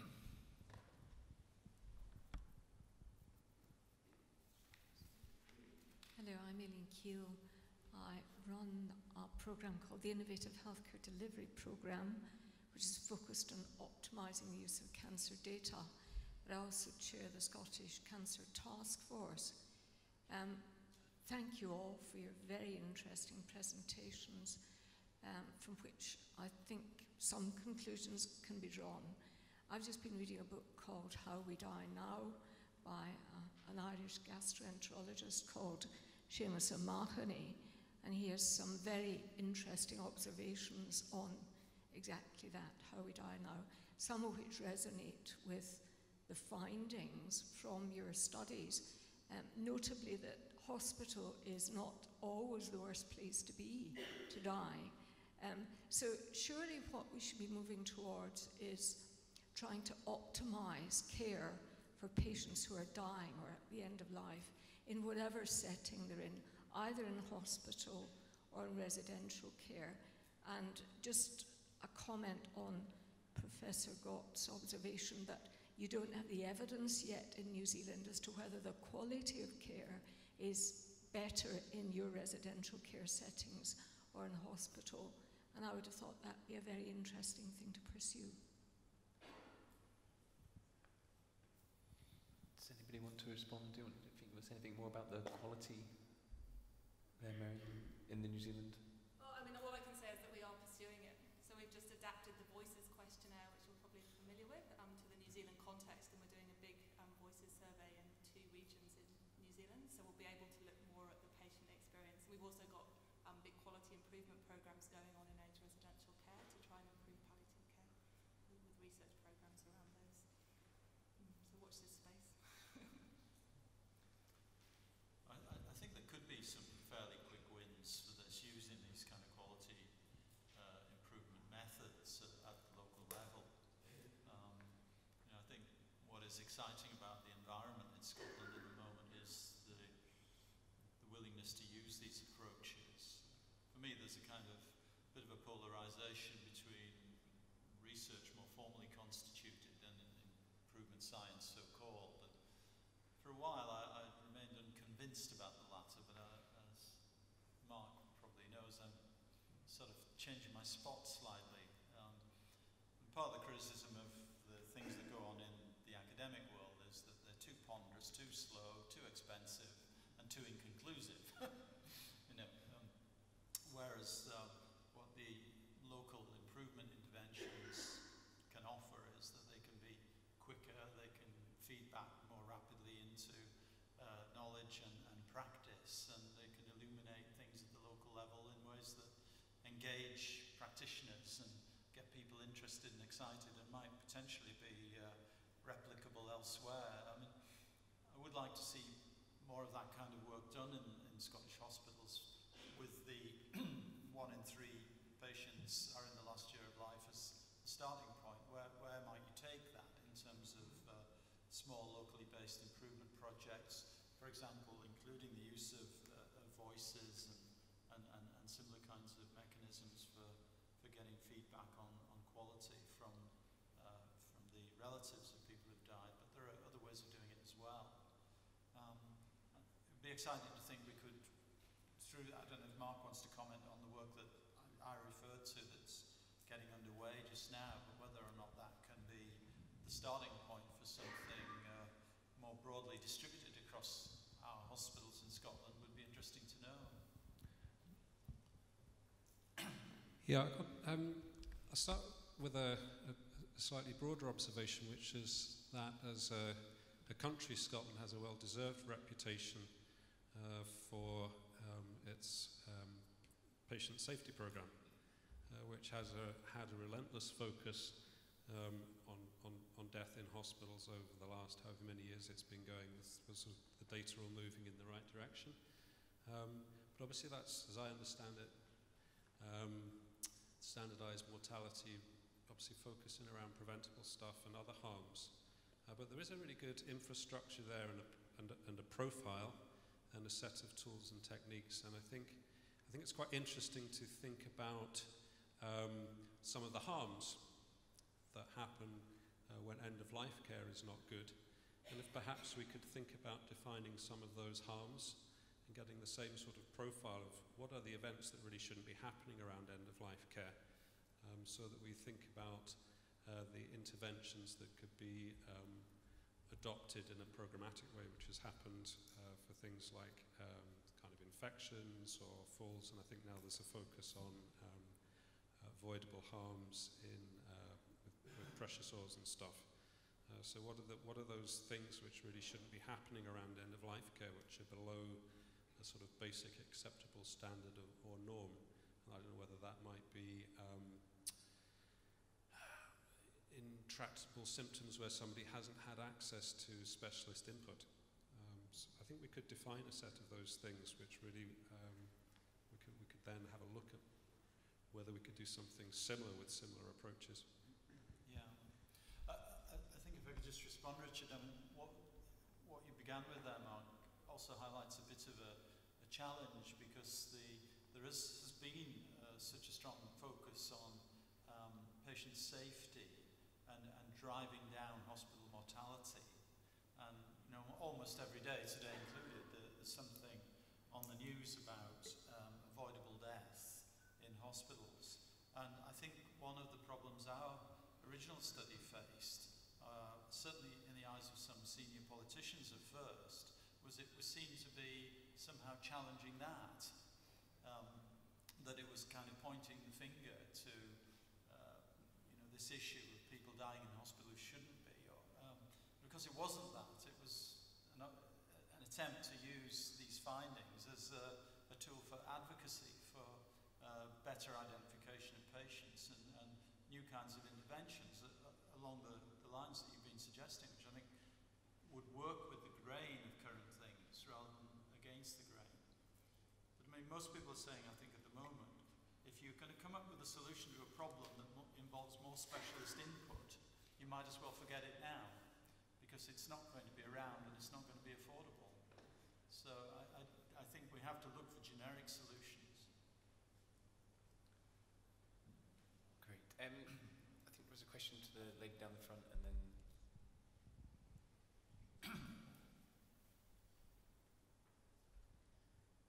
just like to thank everybody in the panel today. It's been really interesting what you've been saying.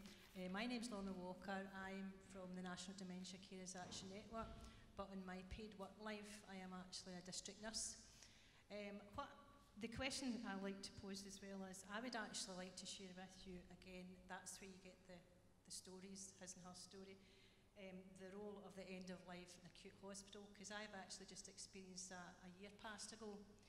And again, it is the people that is within the hospital uh, and sometimes it's the guidance that they require.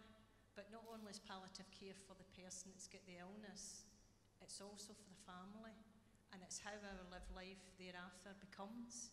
Um, my mother was fortunate in that the staff were very receptive, and my mum got a single room. She had dementia, acute vascular dementia. She also had a bowel cancer, and she obstructed perforated, hence she was in a surgical ward. Her care was very much up and down, and it was dependent on staff that was there. Um, myself, again, I was also very much that I could be her advocate and speak because there was nobody knew her quite so well as myself. But we actually had fun at the end of the life because we actually, the only person that didn't appreciate that she was, was dying was my mother.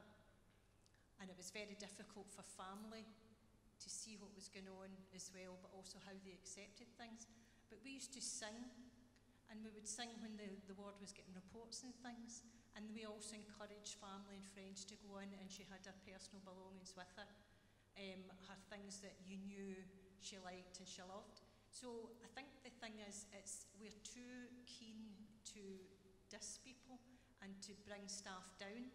We need to be encouraging them. We need to be supporting them but we need to guide them.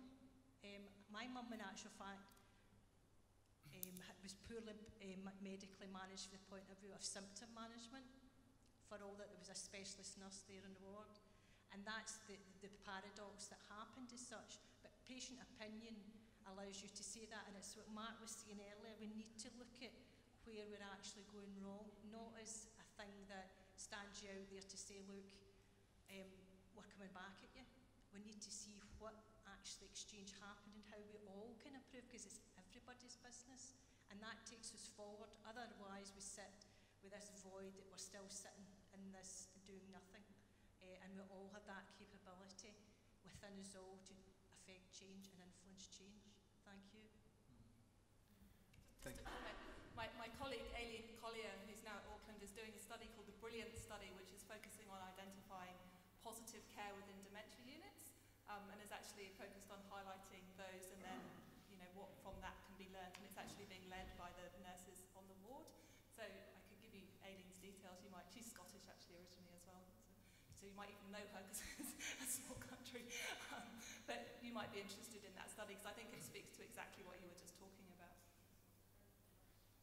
Does anyone else have anything to add? I mean, quite a lot about culture and training for staff and hospitals. Um, I don't know if what that's like in, in Denmark or, or, or if there's obvious areas for improvement or if there's examples of good practice. We have exactly the same uh, problems and areas for improvement, and it, again, it goes very much back to the culture. I think there has been, at least in Danish hospitals, a culture that you will be re rewarded for having the patients further in the system, away from the department, at home if can do it as fast as possible. So we need to change that culture to, to be rewarded to take care of patients as a whole and look at them as persons in a trajectory more than something dis disease related that we need to take care of in each hospital department. So I guess it's exactly the same problems that, that you mentioned here.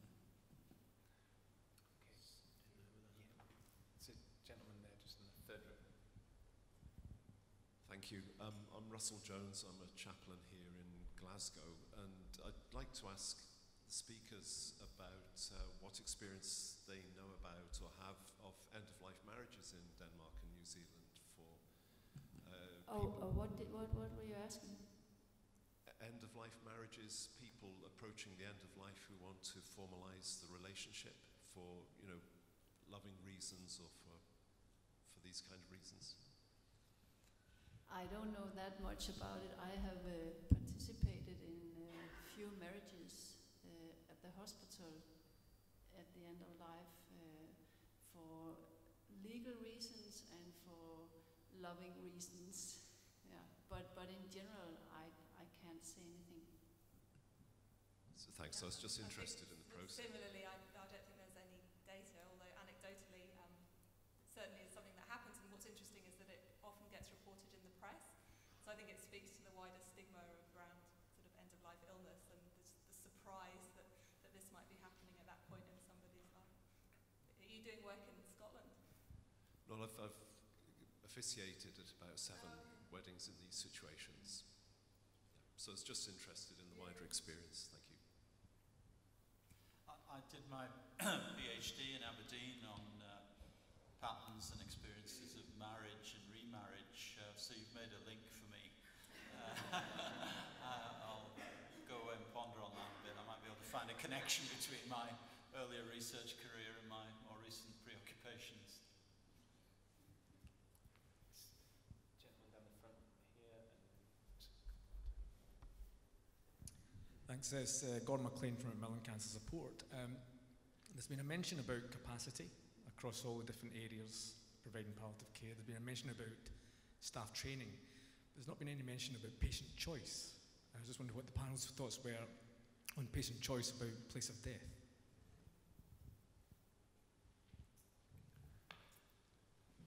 So in New Zealand, there's a big advanced care planning program ongoing. Um, I suppose there's also, at the same time, maybe a questioning around um, whether choice is always what people want, is the primary thing that people want at end of life as well. Um, so we did a big study looking at um, the preferences for end of life care for Māori and non-Māori over 85, um, and the top preference was not being a burden. Um, and personal choice came very low down the list. Um, quality of care came higher up.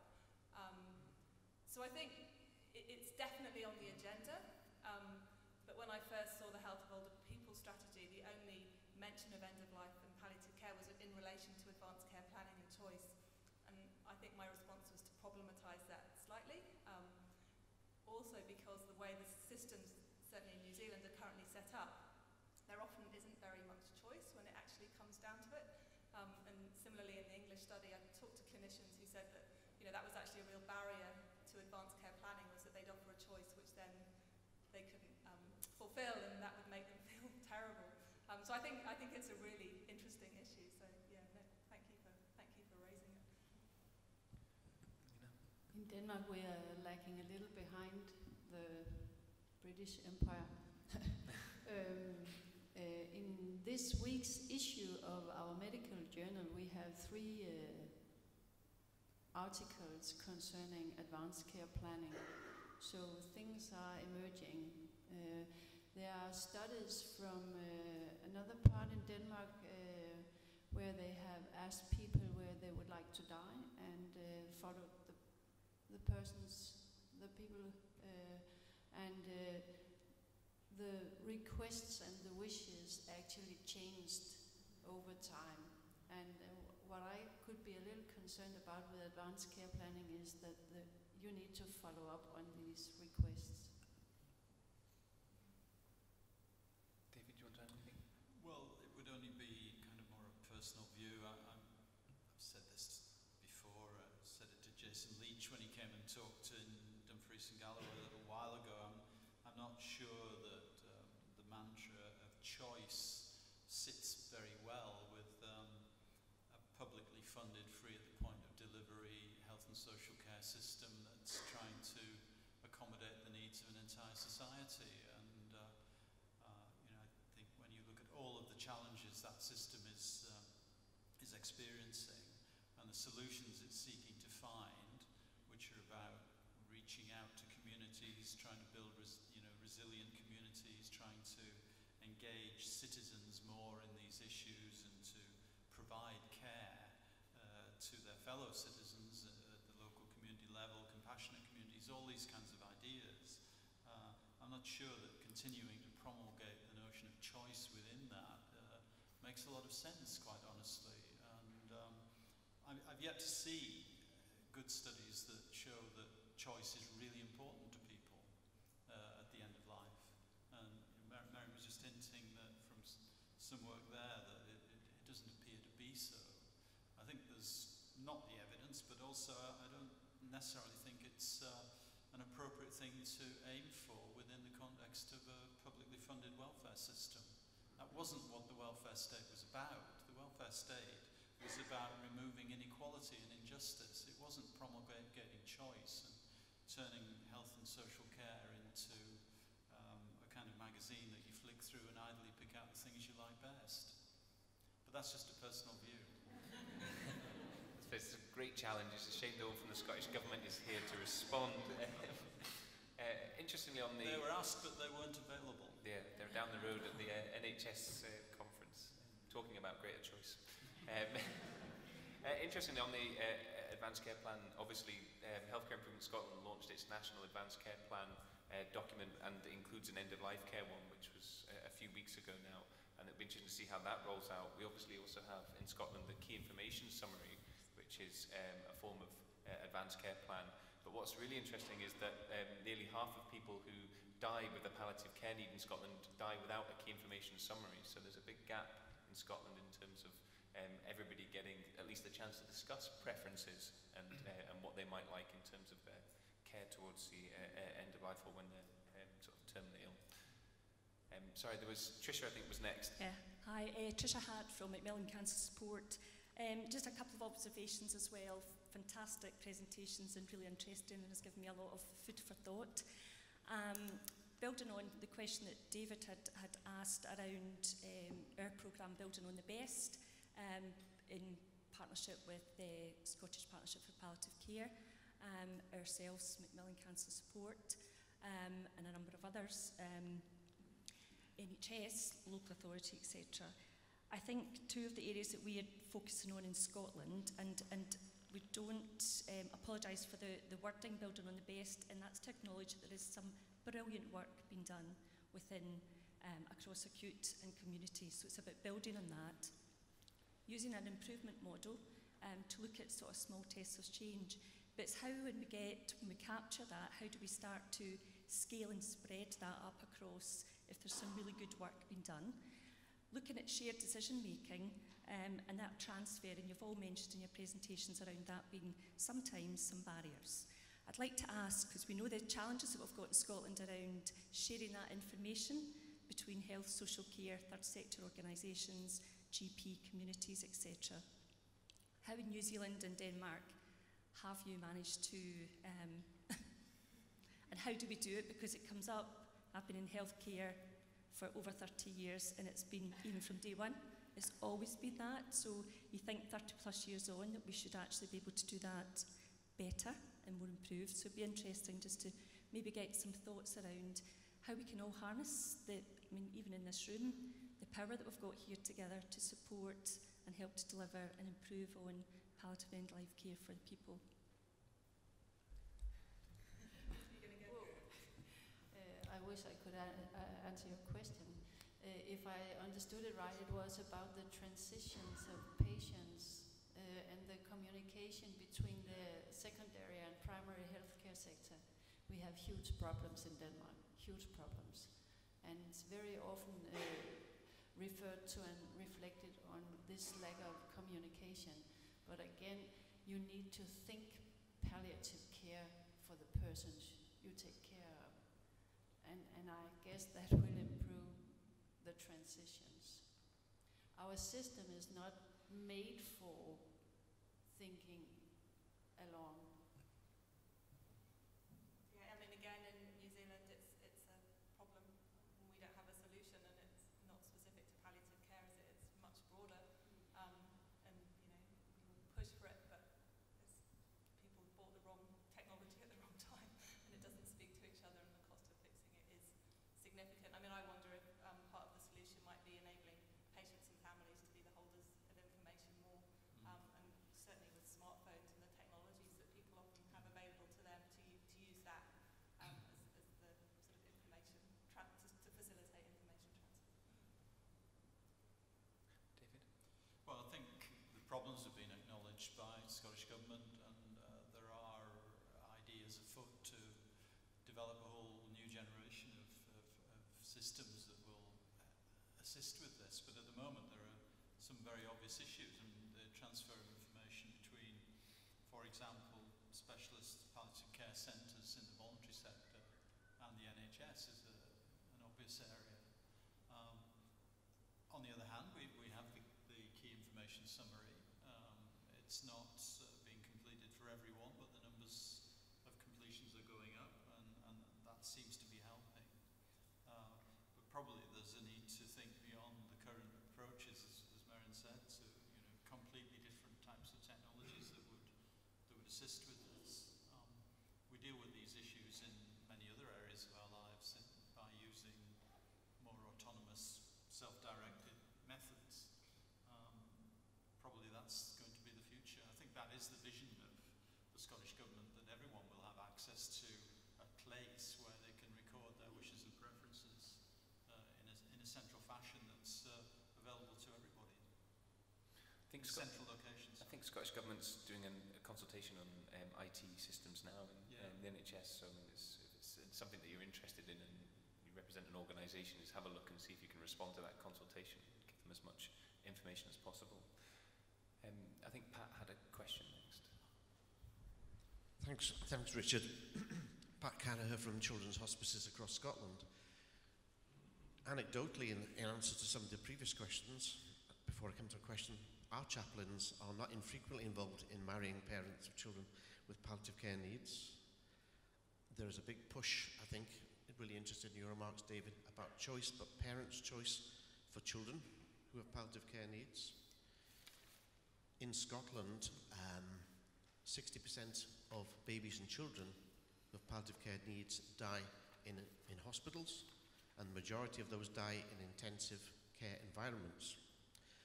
When I speak to colleagues working in those environments, they all tell me it is not the best place for somebody to die. I don't think A&E is the best place for somewhere to die.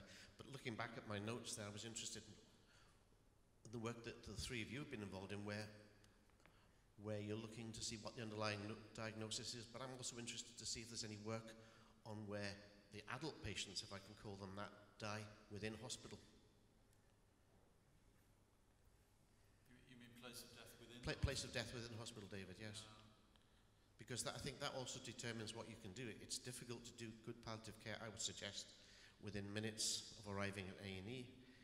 Good palliative care can definitely be done in intensive care environments, but it needs a team that wants to be able to do that. Yeah. I mean, in, in a lot of the American literature that's looked at uh, early intervention, the benefits of early intervention palliative care, one of the uh, outcome measures they use is uh, likelihood or not of, of dying in intensive care.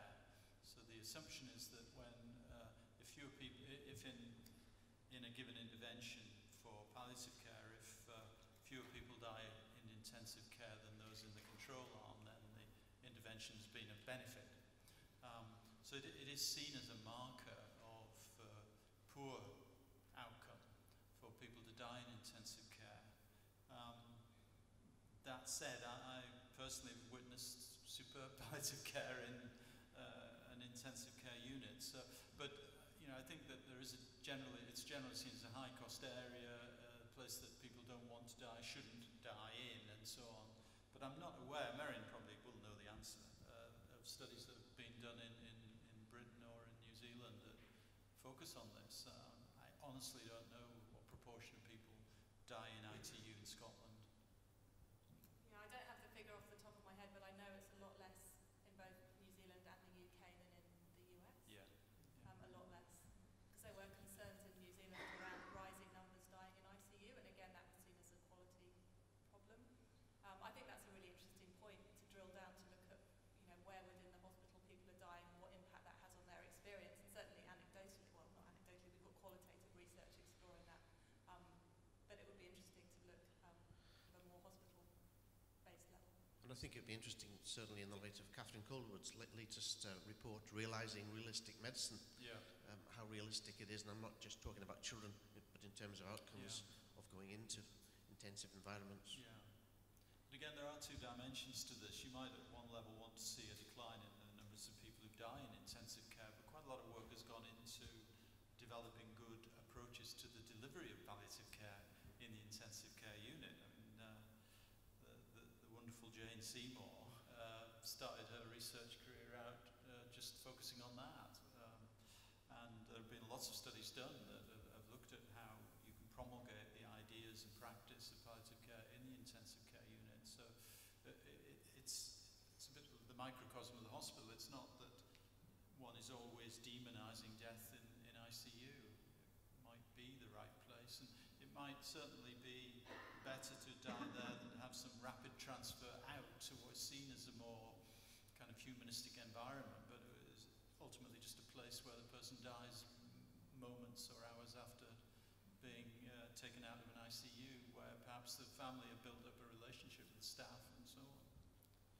Uh, and I, I know from Jane's work and, and others that there are some brilliant uh, uh, um, examples of clinical palliative care taking place in, in intensive care units. Lene, do you have anything you want to? Yeah, the, the figure in Denmark was 34% for the anesthesiological departments who died within one year. And it is, of course, uh, from the ICUs, intensive care units.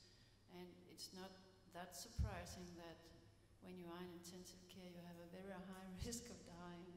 So, of course, you should focus on palliative care there, but you don't necessarily need to avoid dying there.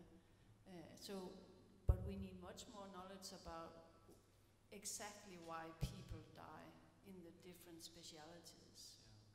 I, I was at Columbia University in New York uh, about two months ago and meeting the uh, palliative care teams there. And uh, when we were going around, uh, they, they explained that they, um, they had a whole team in the hospital that just focused on uh, intensive care units, delivered palliative care in intensive. I said, a whole team ITU. And they said, well, we, we have 12 intensive care units in the hospital. I think there are some states in America where two thirds of people die in hospital following admission to ICU. Thank you. Okay, um, Mark has a question, and then there's a lady there. So. Yes, Mark Hazelwood, Scottish Partnership for Palliative Care. It's really just to follow on from that discussion to say, uh, um, if it's partly an advert as well, that we're doing a session at our annual conference on the 20th September, which is going to look at um, death and dying in critical care environment. And we'll be having Naz Lone speaking, who's a critical care consultant, but also a researcher at Edinburgh University, who's done a lot of work looking at prevalence and sort of outcomes for people in that environment. So there'll be a chance to look at that and to get to hear about the sort of current state of data and knowledge across Scotland. Thanks. Um, this, yeah. Hi, my name's Janice Dunn. Um, I, I helped um, look after my mum um, with secondary cancer, and she had good palliative care. I had good support, except for maybe gaps at holidays or long weekends, but I was well supported at other times. But as a younger person living with a life-limiting, um, degenerative, slower progressing disease or illness, um, I worry for my family that they might not be as well supported as I was because they, I've been to the other changing conversation and if I speak of palliative care or end-of-life care, some people would say, oh, but you're young, you've got plenty of years left, but the trajectory of my disease, um, it could be a, a, an, a, an exacerbation that would hospitalise me and things could progress rapidly. So I feel that um, it's good that there is talk on that conversation, how difficult it is, but um, there's not as much emphasis on younger people. Thank you. It's just to the panel in general. Thank you for sharing.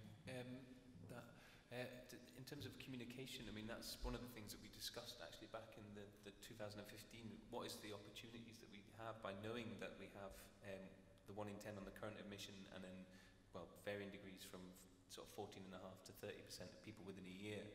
What are there opportunities for good communication with people that are admitted to hospital? Are there any example? I mean, do you have examples from in Denmark or New Zealand of, of, of things that you know of that happen when people are admitted? Are those conversations happening? Uh, well, I, from the studies we did in England and New Zealand, um, the key element that was missing was communication um, across the board. So in the New Zealand study, we looked at um, the level of intervention people were receiving at the time that they died, um, and that was assessed by two palliative um, medicine um, consultants. And um, what they concluded was actually the level of intervention wasn't um, inappropriate. You know, it was actually much lower than they'd been expected. Though, the, you know, their preconceptions were that it would be really high. Um, but actually, none of the, the fact that the level of intervention was low hadn't been communicated to, to the patient and family. So it's a very long-winded way of saying that um, the clinical teams had made a decision that this person was, should be receiving palliative care, um, but that, that had never been sort of communicated to patient and family. And certainly the audits of the Liverpool Care Pathway, when those were undertaken, identified that very low numbers knew they would be put on the Liverpool Care Pathway, very few, few families, and that must obviously be implicated in, in some of the things that happened there. Yeah, I can, I Oh, can sorry, answer uh, question. We say that you have to be lucky to meet someone who will talk to you about palliative care. Um, there has been uh, recent, very recently, uh, one of my colleagues has published a qualitative study where she was observing and uh, interviewing um, what went on in the medical departments, and she actually found that uh, it is still the, the thinking that palliative care, uh, and I will repeat myself, is for uh, pain treatment in cancer patients, terminal cancer patients. And the, the uh, consequence of that thinking was that uh, it was first when the doctors allowed the nurses to um, take care of the patient because they could see that he or she was dying that they were actually actually allowed to discuss palliative care. So it was observa- observations from three uh, common medical departments in Denmark. Of course, it's, uh, it differs across specialities and across uh, places, but it's very much about, again, with the managers and with the, the managers of the departments allow and reward that you actually take care. The, the people who work in hospitals will know better than me about this, and deans might be able to comment. But my impression is that the clerking of patients is a job for junior doctors, and it's quite an onerous job. It's time consuming. Um, whether or not that is a point of entry for some of these discussions, I don't know. I, I suspect that the clerking is very much focused on the acute presenting issues. And uh, you know, if, if junior doctors doing the clerking of patients knew the results of our study, um, you know, it would alter their frame slightly, perhaps, in, in thinking about the person in front of them. And there might be some means to you know, acknowledge that in the way the clerking is done. I don't know, but it, maybe that is happening.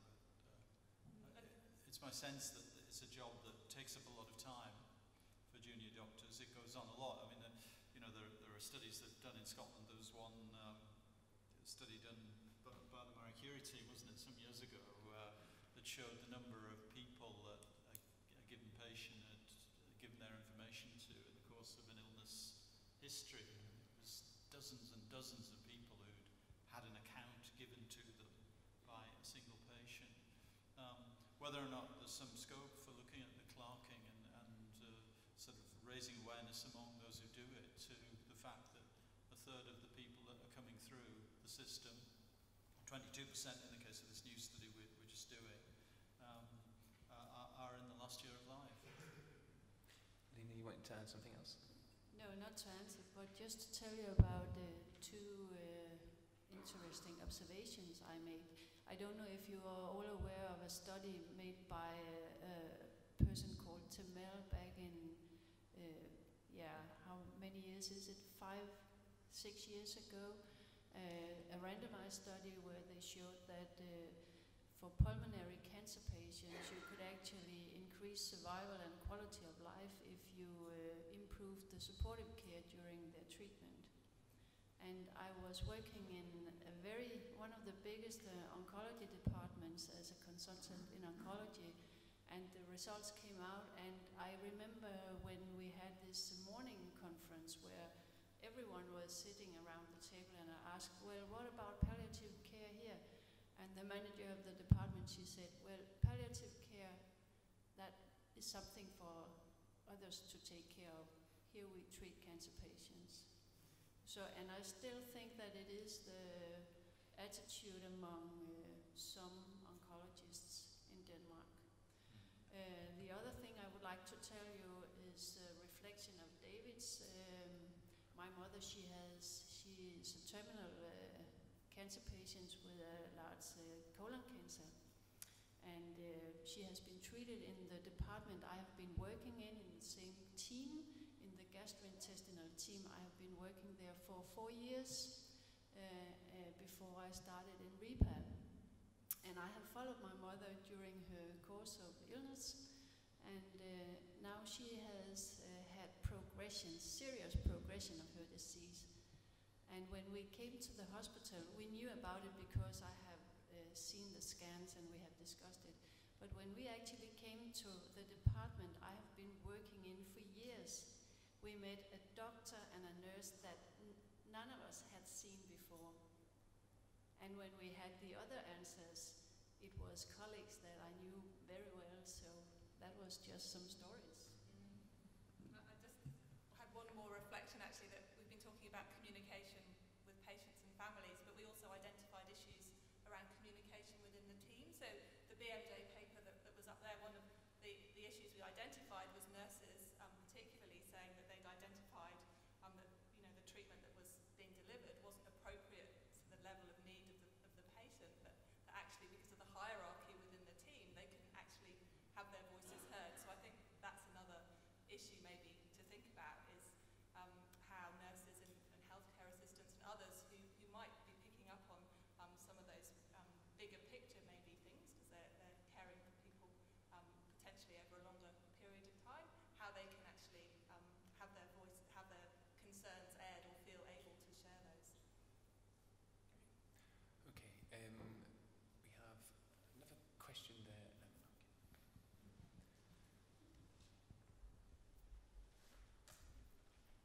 name's Eleanor, I'm a palliative care nurse in um, Lanarkshire. It was just to um, mention um, to everyone the type of work we are doing around about communication, um, especially people coming in the front door to accident emergency. Um, we've started using hospital anticipated care plans that are live just for that one admission. Because I think someone mentioned earlier on about the anticipated plans because people's ideas change about place and um, but these are used primarily as a communication tool for our doctors or medics to have discussions round about what the patients feel are um, reasonable investigations and treatments. Um, and I think anecdotally, I can only say I think it's working very well. We're all looking to Lanarkshire for this. I, I think it's had a big influence, the practice there, on broader thinking across Scotland, and it's also prevalent, uh, found in the guidance that came out a couple of weeks ago, I think much of which is based on some of the experience in Lan Lanarkshire. There's um, a question this side of the room, and in fact, there's two down here. Far corner.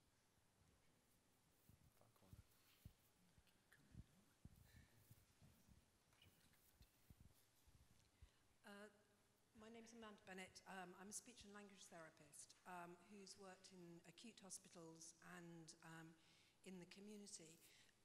and I've just got a, a, a, sort of comment or question really about um, Merryn's point about the need for a cultural shift. Uh, because from my own experience, uh, originally working down in England, um,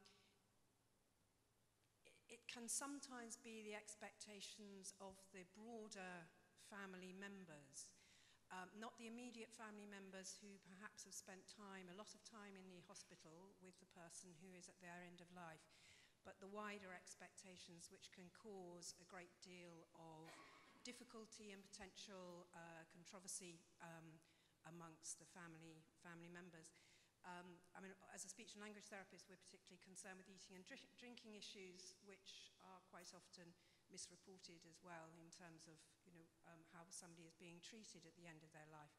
So I'm just interested as to where you think that dialogue needs to take place, where we get that cultural shift, which isn't just about health, health workers and how we deliver services, but the general, the general population. Anybody wishing to take that on first? Well, uh, uh, one quick reaction is that if you look at the Liverpool care pathway, you know, seen in, in, many ways as something of a catastrophe, all the events that happened. Um, there's another view of, of, it, and I was reading a little bit into the literature on um, uh, catastrophes and their impact on the wider society. That um, there's, there's, another view of, of something like the LCP situation, which was that, in fact, it, it led to and has, has helped to promote uh, much wider discussion about these issues. As long as something is called a pathway and it's the preserve of health professionals and you don't know whether you're on it or not, um, the, the scope for kind of public engagement and debate is, is fairly limited. But given what happened to the LCP, um, it became a topic of, of significant discussion. Um, and it'd be difficult to actually attribute this causally, but you'd have to say that in recent years there has been really a growing debate going on about end of life issues beyond the, uh, the discussions of specialist providers of, of services. And there is a sense in which the, the experience of the Liverpool care pathway, all the pain and suffering that went with it, its rise and demise, um, might turn out in the longer term to have had, you know, some potentially shifting effect on, on public perceptions and interest in, in these issues. It, it's much harder to change a culture than to change a pathway. Yeah, I mean, I think changing culture is, is obviously really difficult, isn't it? Um, just reflecting some of the things we're doing in New Zealand um, is using different sort of innovative methods of, of taking research findings um, out into communities. So, for example, we work with Pacific family carers, um, you know, looking at you know, what resource they might like to support them in caring. Um, and what was really interesting was that they wanted a music video um, because they wanted to raise awareness of the work that carers did within their communities and target that particularly to young people. Um, so if you're interested, it's, it's on our website. Um, but it's absolutely, you know, fascinating, and it will be really interesting to see, you know, the extent to which that does shift some ideas or promote thinking within the Pacific community um, around how to support carers and wider issues of, of palliative care management as well. Conscious we've, we're starting to run out of time, and I know there's at least two questions down here. Um, there was the lady here at the side who's been waiting quite a while, um, and then I'll come. Uh, well, thanks for. It was really interesting to get the um, both the the context for the countries specifically, and then have them compared. So I really appreciate you coming here to to talk about it. And what I'm interested in. I don't know there's an answer to this question, so it's more just to hear about your thoughts. Um, you can probably tell from my voice I'm not local. Um, I'm from Canada, and all my experiences in the Canadian context. And I know there that pretty much across all provinces, 70% of Canadians will die in hospital, acute hospital setting. And one of the uh, push or initiatives in Canada since the 70s has been integrating palliative care in hospitals, and that's actually where it originated. But in some of the work that uh, I've done, I'm, I'm interested in what we mean when we talk about palliative care in hospitals, because in the work that I've done, I've often seen the conflation between the term palliative care and palliative medicine. And I know that there was some conversation here earlier about, and you actually, uh, I tweeted about the slide of that these end of life conversations are around prognosis, even, are not happening. And certainly with the palliative specialists that I work with, because they're often required to work in a consultancy role, they have to have the same cultural mandate as acute specialists, and so often they will say things like, I'm here for your pain, or um, kinds of conversations that include a lot of euphemisms. Um, and so I was just wondering, in, in the, the places that you work and in the cultures that you have, if this is something that also is uh, a consideration as in acute care contexts and people have un- prognostic uncertainty and, and kind of a, a medicalized culture, what the role of palliative care versus palliative medicine in hospitals is. Uh, in Denmark, there's a, a debate going on between the specialized palliative care and the rest of the medical community. Uh, we don't have uh, palliative care as a specialty. It's a specialist education above some other kind of specialty, and and they actually fight a lot to say that they practice palliative medicine, and they they do palliative treatments to to be acknowledged by their colleague doctors. So I guess it's it's very much a doctor's issue, this palliative medicine, palliative treatment thing. Uh, in Denmark, care, uh, it's very difficult to translate care into Danish because I think that uh, care is much broader uh, in your language than it is when you translate it from English to Danish. So we have had a lot of debate of palliative care. Um, I don't know how to say it, but we more translate care with concern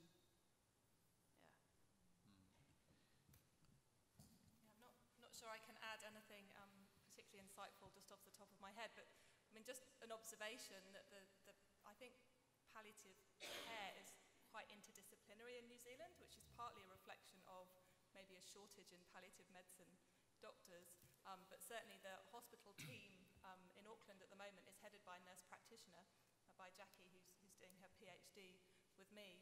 Um, so I think they would certainly argue that they're delivering palliative care, but I think you're getting at a slightly more nuanced issue that I'd, I'd have to give a little bit more thought to. Yeah, we'll get a chance to talk more, Marian, since you're joining us soon. But one thing that has been going through my mind recently, and I'm sort of sketching out yeah, some ideas for this uh, in a paper, is that it, it strikes me more and more that the core principles of palliative care have now been pretty widely adopted, at least in some of the rich world's healthcare systems, and have become completely mainstreamed as assumptions. Um, I have interesting conversations with a colleague in Spain who's always wanting to suggest that uh, palliative care is the agent that can reform a healthcare system. But I say to him, look, if you look at some of the principles in the healthcare system where I live in Scotland, um, the, they, they are the principles that you would probably call palliative care. You know, choice, personalisation, planning, dignity. Um, I think this is also true of the whole compassionate communities issue.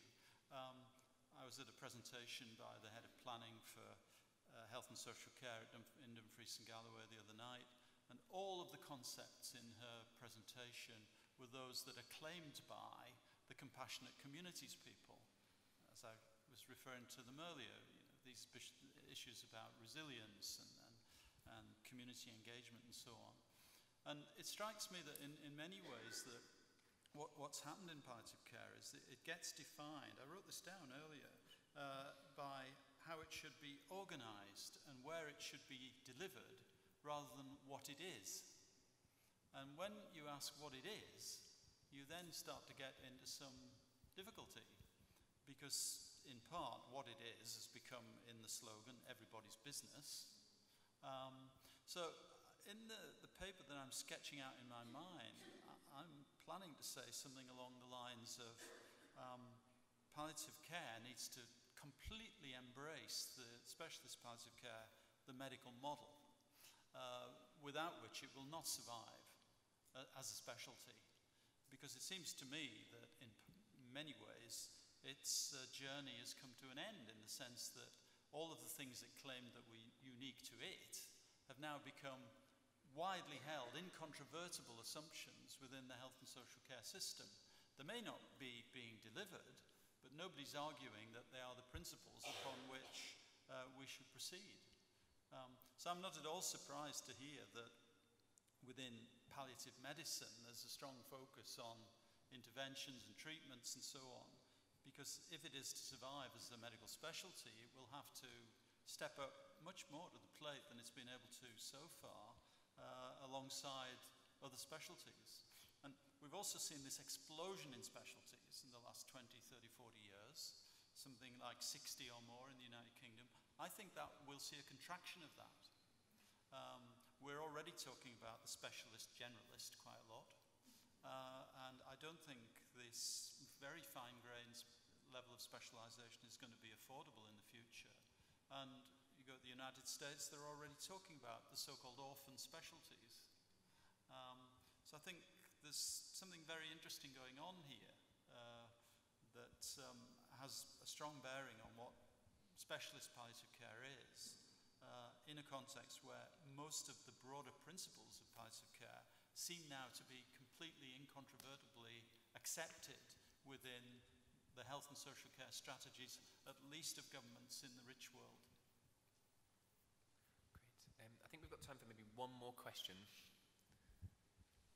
Hi, my name is Jill Keel and I work for Marie Curie in a service which is principally about um, supporting patients on discharge from acute sector back to home and also supporting patients to remain in home where, where that is their, their, their preferred place of care and death. And it's a question really about how the, the research that you've discussed today, um, if the time of presentation of patients with acute symptoms has an important um, influence on their destination. So, for example, I'm thinking um, is there a higher number of patients presenting out of hours, for example, who end up in hospital care uh, and, and ultimately having that as their place of death? Um, we've seen huge changes in out of hours services in Scotland and across the UK, and um, I guess in other parts of the world as well.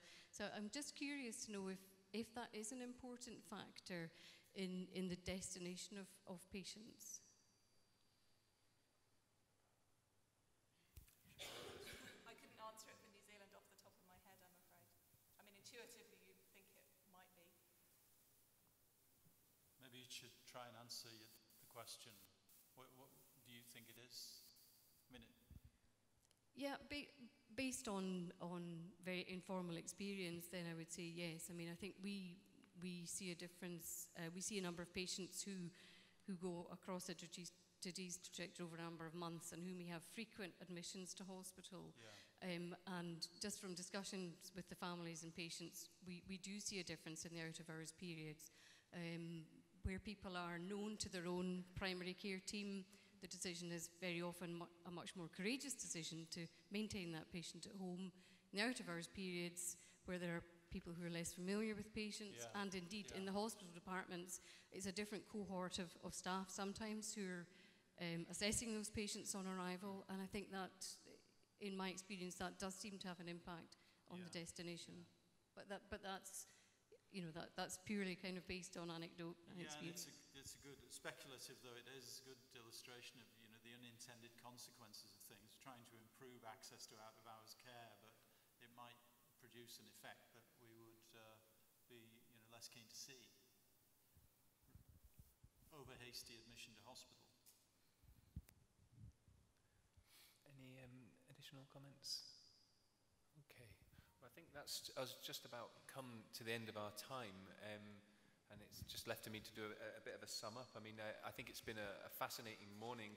Um, I think, firstly, from the presentations, it was really interesting to see those different comparisons between the three countries, and, and actually that there was lots of similarities there, but some significant differences the 30% of people who die within a year in Scotland compared to the 14.5% in New Zealand um, is a really interesting statistic and actually really worthy of further exploration. And it was great that Merryn posed such interesting questions as, as to why that might be, and hopefully it's something that we can look at and explore. In terms of that sort of wider conversation, a number of themes seem to have cropped up throughout all of the many questions and points that you all raised. Um, communication came up a lot, culture came up a lot, um, training uh, and support all came up. Again, themes that we've probably heard quite a lot when talking about palliative care over the last, um, well, 20, 30 years and, and more. Um, and I think actually the idea that palliative care is everyone's business has cropped up time and time again. And I think that's another important theme. But I think in sort of to conclude, I think the one thing that we've all agree on wholeheartedly is that actually the hospital has a positive role to play in palliative and end-of-life care. And our challenge is to make sure that everybody recognises that and that we then progress that and take that forward. So thank you for taking part in a, what I think has been a really good morning. Particularly uh, would like to thank our speakers, Lene Jarlbæk, Merryn Gott and David Clark. And thank you for all uh, coming this morning. And if we could do the usual round of applause to show appreciation.